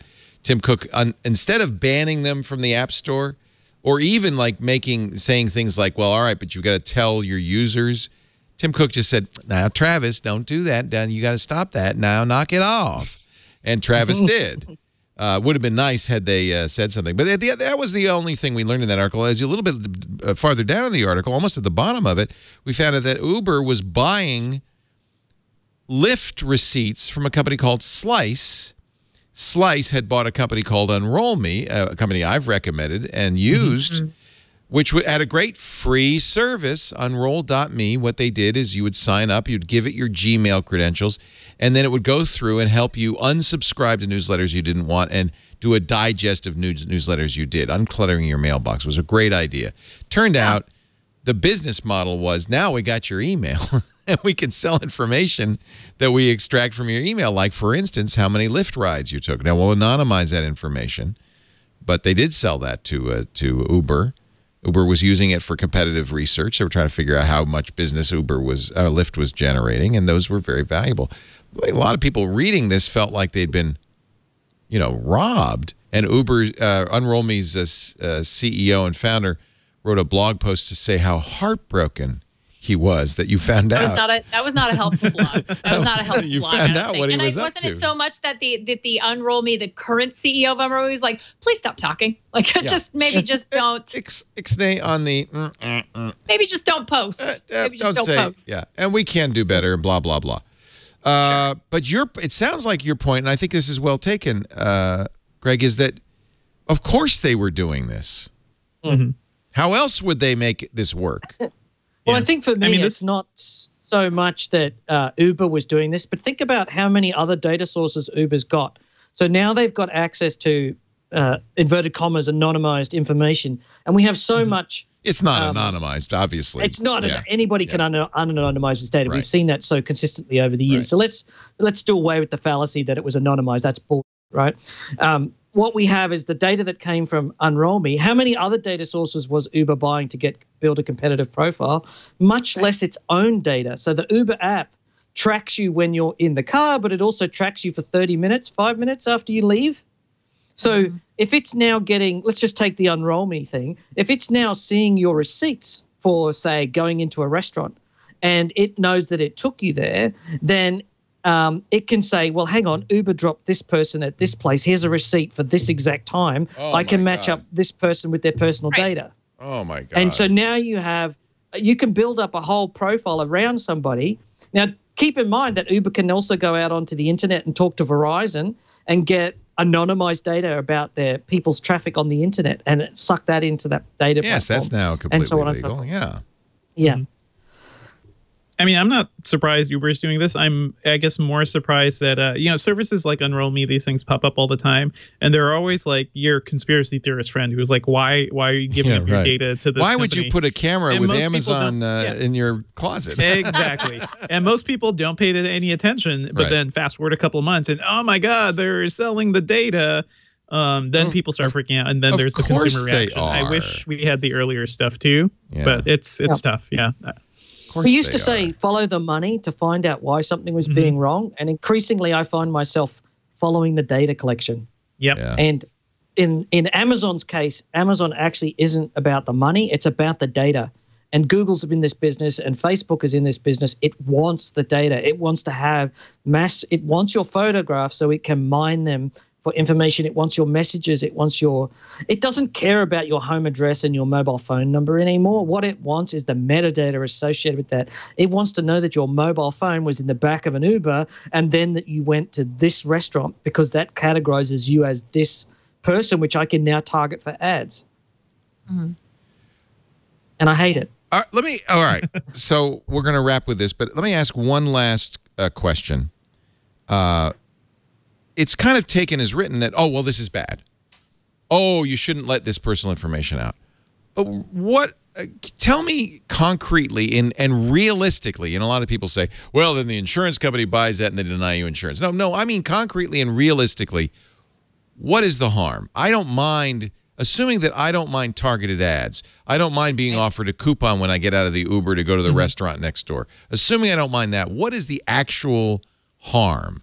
I, I think the big problem is Unroll Me is doing this and just didn't tell anybody, and I'm sure it's probably in the terms of service or something. It is, maybe but somebody, you know, it is. it up. But Yeah. I wish, for me, the harm is just like, yeah, these companies keep doing these things and sneaking it in and not being fully transparent about what's happening. The consumer harm is maybe more stuff like Uber, though, like these lavishly funded companies who can compile all this data and use it to crush their competitors. In a certain sense, it is like helping, uh, it's helping to promote unhealthy competition in some markets. Okay. I would say unhealthy competition would also be like my answer. I agree with you, Devindra. I think you're absolutely right. Um, I think that uh, I was having this conversation about the Echo Look this this week, and um, and I think that the next generation uh, coming up grows is growing up in a world where they voluntarily share their days, everything in their day, with the rest of the internet, and um, and I think that the idea of what pieces of privacy are the most important to them, um, they will have to figure that out for themselves.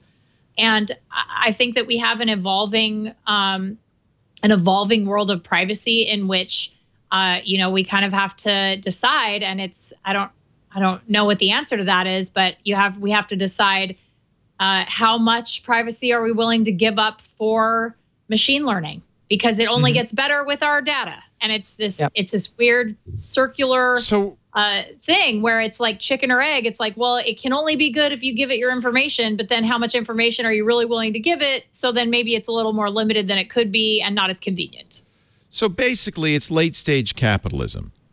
We're, you know, we capitalism as a blood sport. Uh, yeah. And uh, this was The kind Hunger of, Games I of think this was kind of inevitable, though. This is kind of the nature of capitalism, Sure. isn't it?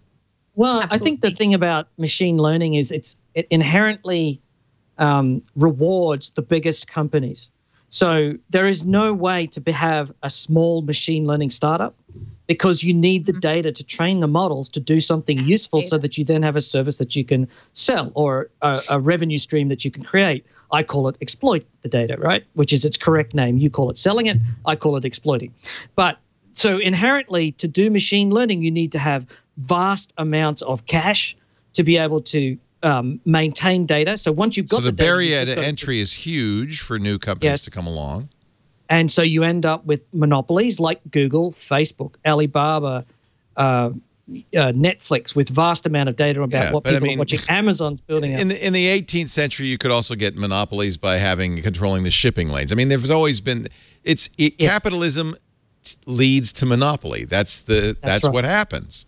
That's what late stage capitalism is ultimately is monopolization by Yeah. some sort of rou- Some- robber baron. Some sort of. And the problem is ultimately is that it's not. I and I agree with uh, with with your point about we need machine learning to do things to to be cyborgs. We are all cyborgs now. If you're holding a smartphone, you're a cyborg, right? The machine makes you greater than you are. The fact it's not embedded in your body is here or there, right? To me, anyway. The point i would is, is disagree with that, but okay continue Ashley and I no want it embedded. I'm sorry. I'm not. I'm holding out for the metaverse. Yeah. Yeah. But the point is, you're already half a cyborg if you're dependent on your there. smartphone today, right? We're getting there. It's just a matter of time. Uh, I think the point here is, is that there are uh, there's no control. I can't take this data back. This data is stolen. This data is taken from your digital exhaust. From the you look at Verizon acquired AOL and HuffPo and all those companies, and it's going to buy Yahoo just so that it can build bigger databases, so it can target better ads to you and sell that data to other people. It's all an ad tech play. I didn't give permission for a lot of that data, and certainly this is where the FCC rollback around net neutrality is starting to be quite concerning. But that data is taken and used in ways which um, I don't control. And if there are unintended consequences, or if there are consequences down the line about a decision I made today that affects the rest of my life, I cannot take it back. And that is my problem is I cannot take back you know, if I spent five years sharing my life online and everybody can see that, that has consequences for the next 50 years of your life. So Or I just however long- ignore ads, and then uh, my life is fine. no, I understand what you're saying, but I I feel like it doesn't. It, it is just the way capitalism works, and, And, also, I feel like that sure the if- next generation of people, that's like that's an argument that they would answer with. So what? But I, so who cares? Yeah. that's uh, yeah. it's- I, that's, I want that's my the- uh, yeah, Amazon I don't look. care. I just I, yeah, I, want want my my. Amazon to give me the best information Yeah. and the best. You know, I just don't want care. the best and the most convenient thing, and, so And I- they're willing to I- trade that. I want a merchant that's the most efficient, so I can get the lowest prices. I don't care. Right, right. And Yeah, now your I- I merchant think isn't giving you the lowest people- price, Then it's you get giving you a variable price. Right. And then you get a variable pricing model depending on, you know. But like, can if I the- just say com- that I feel like if if I make really good money and somebody else can be subsidized, like someone who doesn't make a lot of money could have access, like a Nintendo Switch. So let's say I pay a little extra for the Switch, and somebody else who can't really afford it pays a little bit less, but they get to enjoy it. Like, I did that. I, I- bought my Switch on agree with eBay at a hundred dollar premium because I didn't want to wait in line. yeah, like variable pricing already happens on sites like eBay, where it's like if there's Yeah. supply and demand, you're gonna you're you people with the funds will pay a And little I was extra. very People happy. that don't just won't have I it was until thrilled. they can afford it. I could get the Switch. except I didn't have that to wait in you're assuming that the money that this that you're transferring your wealth to somebody who is worthy of it. Tell me I don't how care if they're worthy. be- Why does we care if they're worthy? yeah, I don't well, care. what if they're happens worthy. if the what happens if the intermediary is just exploiting both sides? well, they're always going to exploit both sides. Like, but right. that's the So nihilist. your case then so is, it's like is false. I'd rather. So the I'd debate you're making is you'd be willing to, pay more. So you'd be willing to go and work harder for the rest of your life, uh, you know, and, and earn that, uh, get that pay rise, earn that extra money, and then just give it away because some retailer asked you for it. No, I'm I'm doing it because Mm-hmm. they have an option for. It was your example. You said on the Yep. flip side of that, somebody with a lower income could get it at a cheaper price. And if that was the case, I'd be like, all right, Well, the problem is the the an, the antidotes to this. Sometimes uh, I worry about. Right? It's uh, th- th- you know. uh, So then what? What well, yeah, it's always. I mean, that's always the question, right, Leo? It's like, so then what? So then what? So then what? Because yes, I mean, in a way, it is. It, it would be a retailer hypothetically taking advantage of a certain group or class of people, and then you know people fight back against that. People get upset about that. People, you know, want it to be democratized, all the same price. You know, that's fine. Like I, I get that. Um, but it's like that's just the evolution of of what's happening right now, and I, I think Yeah. that machine learning There's- and the no cloud are the, the biggest uh, ai is like one of the biggest growing verticals in technology right now because of these things Hang, hang on to everybody. Hang on to their thoughts. We have one more ad. I want to get that out of the way, and I want to give you a chance, final, to, to, to sum this up because I think this is really the this is the fundamental conversation. Really is exactly what we do, which is we talk about what's going on today and and what the impact is going to be in the future and what it's going to mean to you in the future. That's really all we do. Uh, it happens to be all about technology because that's where the that's where the rubber's hitting the road today. Um, but that's what I think to me the most interesting thing. I'd love to hear from all three of you. But first, a word from Harry's. I want to talk about uh, another. Almost all the advertisers in this show are disrupting the status quo. Harry's is a perfect example. Two guys, Jeff and Andy, uh, serial entrepreneurs. They were looking for their next thing, and they said, "What is an industry we can disrupt?" They were tired of getting of paying four dollars a blade for their for their razor blades. They said we could do better. I bet you we could do a. There they are. We could do a razor blade company that charges less and gives you great quality, uh, and we'll do it by subscription. And they created Harry's, and it's amazing. Harry's uh, sells great blades. They they did one thing that was very smart. They took all that venture capital, and they bought the factory that makes the blades in Germany, the best blade making factory in Germany. They own it, so you're buying direct from the factory. So you get good razors, great blades and they cost half as much as the blades in the drugstore. I love it. I just love this idea. Now, uh, there is a monopoly in razor blade companies because they all patent their handles. So Harry's had to make a different handle, and that means you got to get the handle before you can use the blades. But they've made that very easy too. Normally, you can get a shave set, which includes the handle, three blades, a full size bottle of the shave cream or the gel, whichever you choose. The uh, travel blade cover. That's fifteen dollars. That's the Truman set. They have the Winston set with the metal handle. I really like the Winston. Twenty five dollars. But you know what? We got an even better deal. We're going to get you started with Harry's free. You just cover shipping when you sign up. So what we're going to do, we've got a sample that includes the handle. It's a very the very nice Truman handle. It's weighted. It's a uh, rubberized grip, so it feels good. We're going to get you a couple of the of the cartridges. These are five blade cartridges that include the trimmer and the lubricating strip, everything, and and a sample size of the shave gel, so you can see how that is free. Just you pay the shipping, and then you get the subscription, so you never will run out. You will always have blades, and you won't ever use a blade longer than you should. Uh, it's awesome. I want you to go to harrys.com slash twit. Harry's, H-A-R-R-Y-S dot com slash twit. And and uh, this is this is an awesome deal. We we just started to do this. We, you get the free set, just cover shipping, and then of course sign up for the subscription. It's a great deal. Get started with Harry's today, and you will be very very happy. And the nice thing is, you never run out. You always get the you always have blades. You always have shave cream. You're ready. You're ready to go. Harrys.com slash twit. What a great panel today. Greg Ferro from the Packet Pushers Network. It's always a pleasure to have you on. You're so smart. Uh, and, and Don't know about that, but anyway. No, you are, and and I love it. He's ethereal mind on the on Twitter. You got to follow him there, and do listen to all the uh, shows on the Packet Pushers Network. They're really really great. Devindra Hardawar from Engadget. He's a senior editor there, and uh, and uh, I'm pleased to say he's been a great friend uh, of, of uh, personally and of the network for some years now, and it's always great to have you on. And our our newest it's glad to friend, on, yeah, our newest friend who's I just uh, have just got a massive crush on now.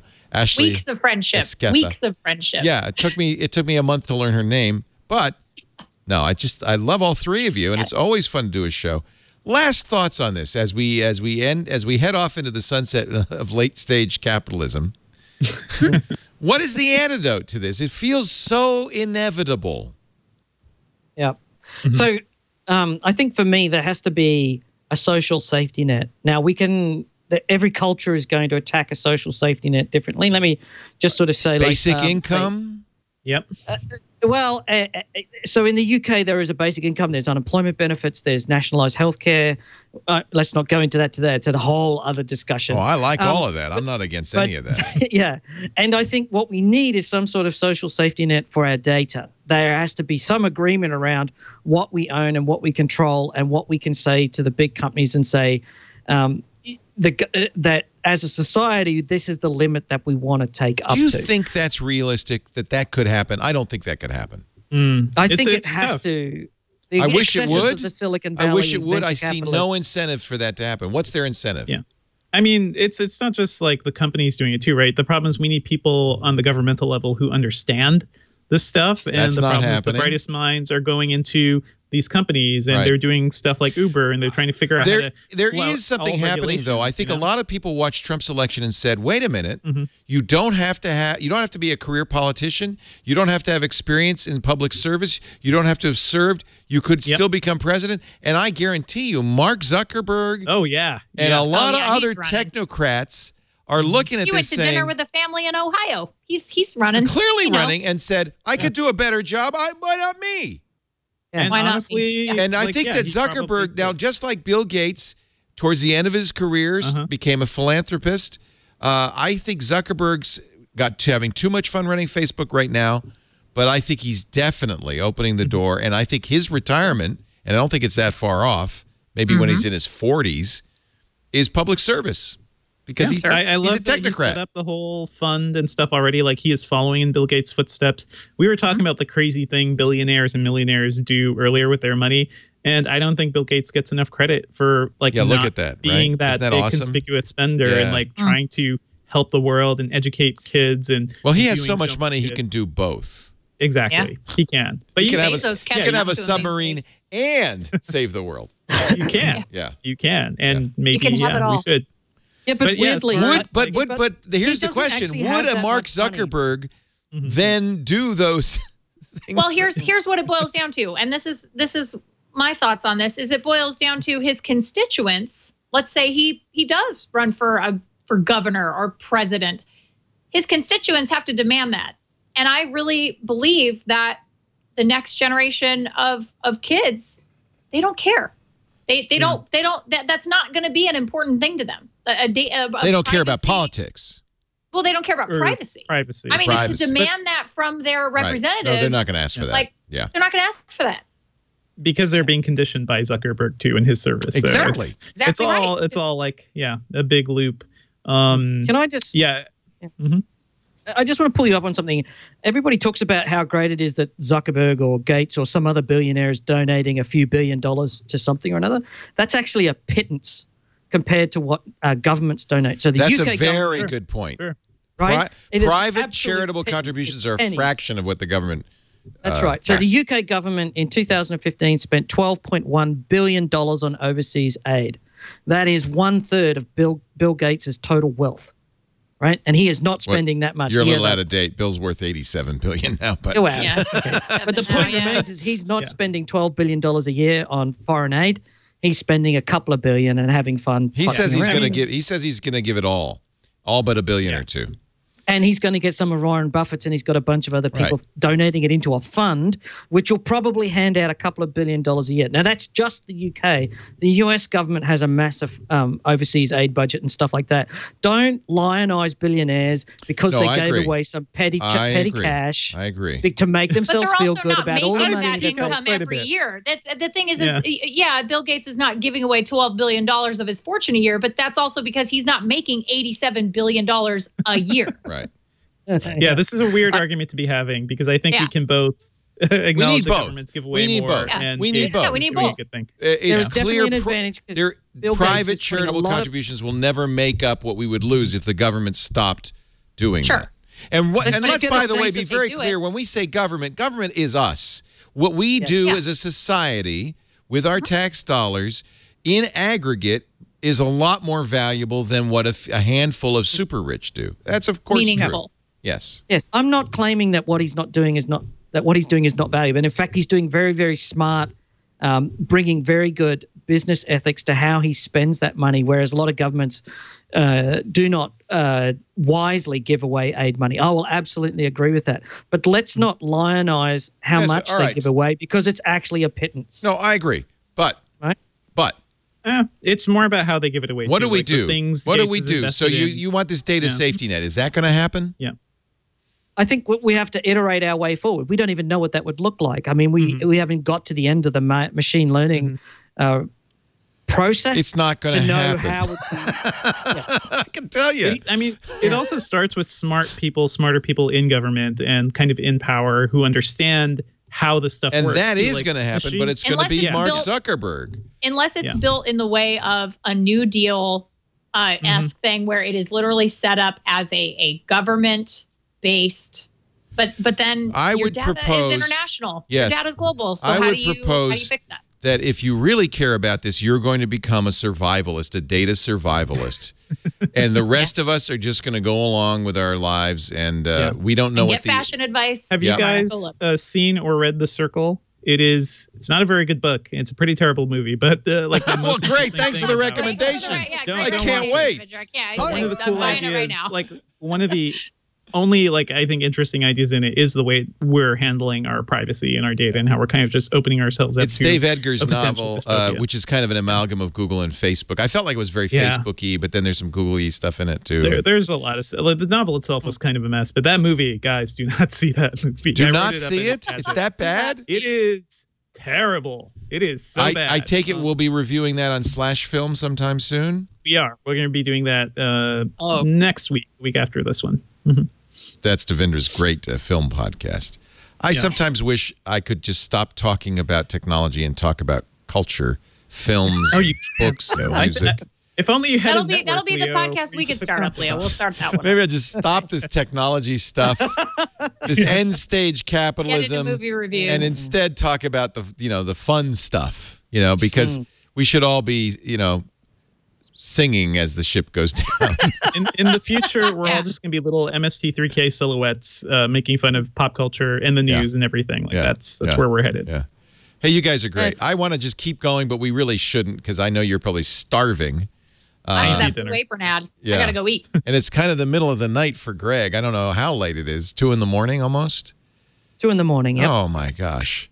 Thank you for staying up late with us, Greg. It's always a pleasure. Ah, most fun you can have sitting down. I agree. Well, no, I wouldn't agree with that. But it's, I love a good orange is the new black. But by the way, you can see that now. All the first ten episodes available on BitTorrent. Uh, thanks to the And uh, you- Dark Overlord. Yeah, Dark Hmm. Overlord is like, thanks to our sponsor Netflix.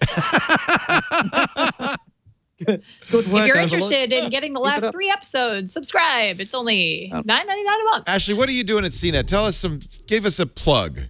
I just did a piece on the uh, DR1 has a micro series, and they do uh, micro drone racing inside uh, TV and movie sets. So they did they rebuilt some of the sets from Firefly, and they did some Oh. racing in there, and that was really cool. Oh, that sounds Uh, like fun. It was awesome, and and sort of the idea in this, and and something I really like is because drone racing is expensive, and so um, especially F you know FPV drone racing is really pricey, and so they kind of want to bring a, a pro racing series that uh, you know kids or teenagers or you know adults who are like not really sure if they want to race, they can sort of say, hey, like this isn't that expensive to get into. Yeah, I'm going to try it. I'll try it out. I'll see if I'm any good at this. And so um, I really like that they're doing this. It's really neat. And uh, and of course, like the backdrop could not be freaking cooler. Oh, how I got to go onto this set, and and it was just such a moment to be able to see a ship from the TV show Firefly. It was really cool. One of my all-time favorite TV shows. Wouldn't that be fun? I, so they kept the sets Mm. around. So they, I think they said they had there was some rebuilding that had to be done, Ah. but they are there. A couple of the set pieces were still there, so they kind of put everything together, re, you know, re-lit it up and and made it look cinematic, and uh, and they got some really great footage out of it. So Oh, it was neat. really fun to be able to kind of go check that out. And they also did. Um, I think they did with Josh Hutcherson and Sarah Wayne Callies. I forget what the name of the show is. Um, Colony. They went to. They did some drone racing through that set too. So it's not just you know defunct television sets. They're also going to uh, to shows that are actually being produced, which is pretty neat. How fun is that? Yeah. Uh, CNET.com. Yeah. I'm also I'm hosting a, a comic book show. You talk about hosting uh, pop culture stuff. I'm doing a comic book show now on Nerdist Alpha called Al, uh, Alpha Comic Book Club, where we it's like a book club but with comic books, and it's really fun. So we do it every Monday come night on. live. Ashley, did you read comic books when you were little? I didn't. I uh, I played video games Yeah, when I me was little. too. My my NES was my best friend. We didn't have video games, but I banged rocks together. It was really fun. That was exciting. I'm Yeah, sure. Um, played in the hoop- mud. old- that old hoop Yeah. and stick. You. Got the old hoop and stick, Leo. Yeah. Hoop and stick. Loved my hoop and stick. stick, right. And that thing, the Um, little cup where you try to get the ball in it, loved that. Oh, that's a good one. Hours. That's a good one. Hours of fun. Hours of fun. But I, I'm like kind of the baby comic book reader out of the three of us. And uh, there's three hosts. It's Hector Navarro and Damion Poitier, which um, both longtime comic book readers. So they're excited to sort of see my perspective as a fresh reader to a lot of series. Nice. Um, tomorrow we're talking about Sandman, which uh, is we just read the first, you know, eight issues. I, I have. It's, it's so freaking good. I'm a Neil Gaiman. I'm a huge. I mean, I'm just the end of the. He's the greatest. But It's brilliant. I bought, and I love it. The leather bound collection Oh, of have the big- Sandman. Hmm. It's so good. It's four volumes. I just three or started four reading volumes. it. It's so good. It's so beautiful, and it, the illustrations Oh my and the God. writing and the story. It's just really great. And so we're talking about it. I'll save all the rest of it for the show tomorrow, but uh, it's on uh, Nerdist Alpha, so I get to do a little comic book show on the side too. Uh, I always feel guilty when because we have a lot of comic book fans, uh, and I never. I wasn't a big. I had you know I read comic books as a kid, but I wasn't like a huge. You're a collector, I wasn't a. coll- I wasn't like into it. sure. I actually was like I would get you know I'd go to the drugstore and I'd buy a twenty cent comic book and I'd read it and I'd throw it away. Oh. That's it. That you know that was my that was my interest in comic books. Uh, and Dev- Devindra Hardawar, he does Slash Film uh, and many other things, but of course he's senior editor Engadget. Tell us about Slash Film. Give us a plug. Yeah. Well, what we're doing now, I don't know. We, we review a movie every week at Slash Film um, for the Slash Filmcast podcast. Um, yeah, so I'm looking forward to that. A lot of good stuff coming up too. Can't wait to talk about Guardians of the Galaxy 2, Oh, which yeah. is very, very You good. survived the doldrums. You know, January, February, March, usually pretty bad for film. It was actually pretty, like, we had a good run for a while. better than Colossal was usual. fantastic. Get usually, Out. usually they Or bury earlier this- Get Out. movies. Yeah, they bury movies in the first quarter, but there was some good stuff. Get Out, you like And Get Out? I didn't see that. I loved Get Out, and there's a lot of good TV starting up soon too, right? Uh, Neil Gaiman's thing, uh, American Gods, American Oh. Gods. premiering in a Oh. couple minutes. Oh. Oh, is East it? TV. Is Yeah, it tonight? Oh, It's I gotta. tonight. Bye, So- everybody. Thanks for joining There you us. go. You Thank watch. you, Devindra. Also, Take The care. Go watch Tales TV. on Hulu and stuff now. So there's just so much good stuff Nice. to watch, and we talk about all of that. I've been watching Handmaid's Tale. Wow, is that grim? that is depressing. Very dark. it is rough. Yeah. Wow. Devindra does It's uh rough. he does slash filmcast with uh, my old uh, Tomorrow Daily co-host Jeff Cannata, Oh, Ah. nice. Jeff's great. Yes, Jeff is who's I love just Jeff. a delight. Isn't he Yeah, sweet? He is a just a good human through and through. I I uh, generally uh, loathe anybody who worked for G4, but he's okay. He's all right guy. I wrote for G4. Okay, like Ashley, Leo? you're, now makes two people. I'll, I'll I can. And Karsten, you worked for G4. Oh crap! I'm surrounded. Sorry, Leo. It's over. Yeah, everybody. Devindra, works you for worked for G4. G4? No. I wish I watched a lot. You of G4. wish? I imagine Oh. living there or working there too. But uh, Oh. it's nice to be here, Leo. It's almost like uh, we're on Tech TV, Yeah. recreating all your Yeah, good think stuff. Think of yeah. that. Uh. think of it that Yeah. way. Kicking it old school. Um, yeah. Yeah, give my regards to Jeff. Actually, I love Jeff. Uh, thank you, everybody, for joining us. We do Twit every uh, Sunday evening around 3 p.m. Pacific, 6 p.m. Eastern, 2200 UTC, late at night in the UK. But that's okay. Stay up late with us. You can watch live and join us in the chat room at irc.twit.tv. Can't be here li- live, though. Don't worry. Uh, we always, you know, really what we're doing here is making a podcast. It's on demand. All you have to do is go to twit.tv to get on demand versions of all of our shows, audio and video. We do high def video as well.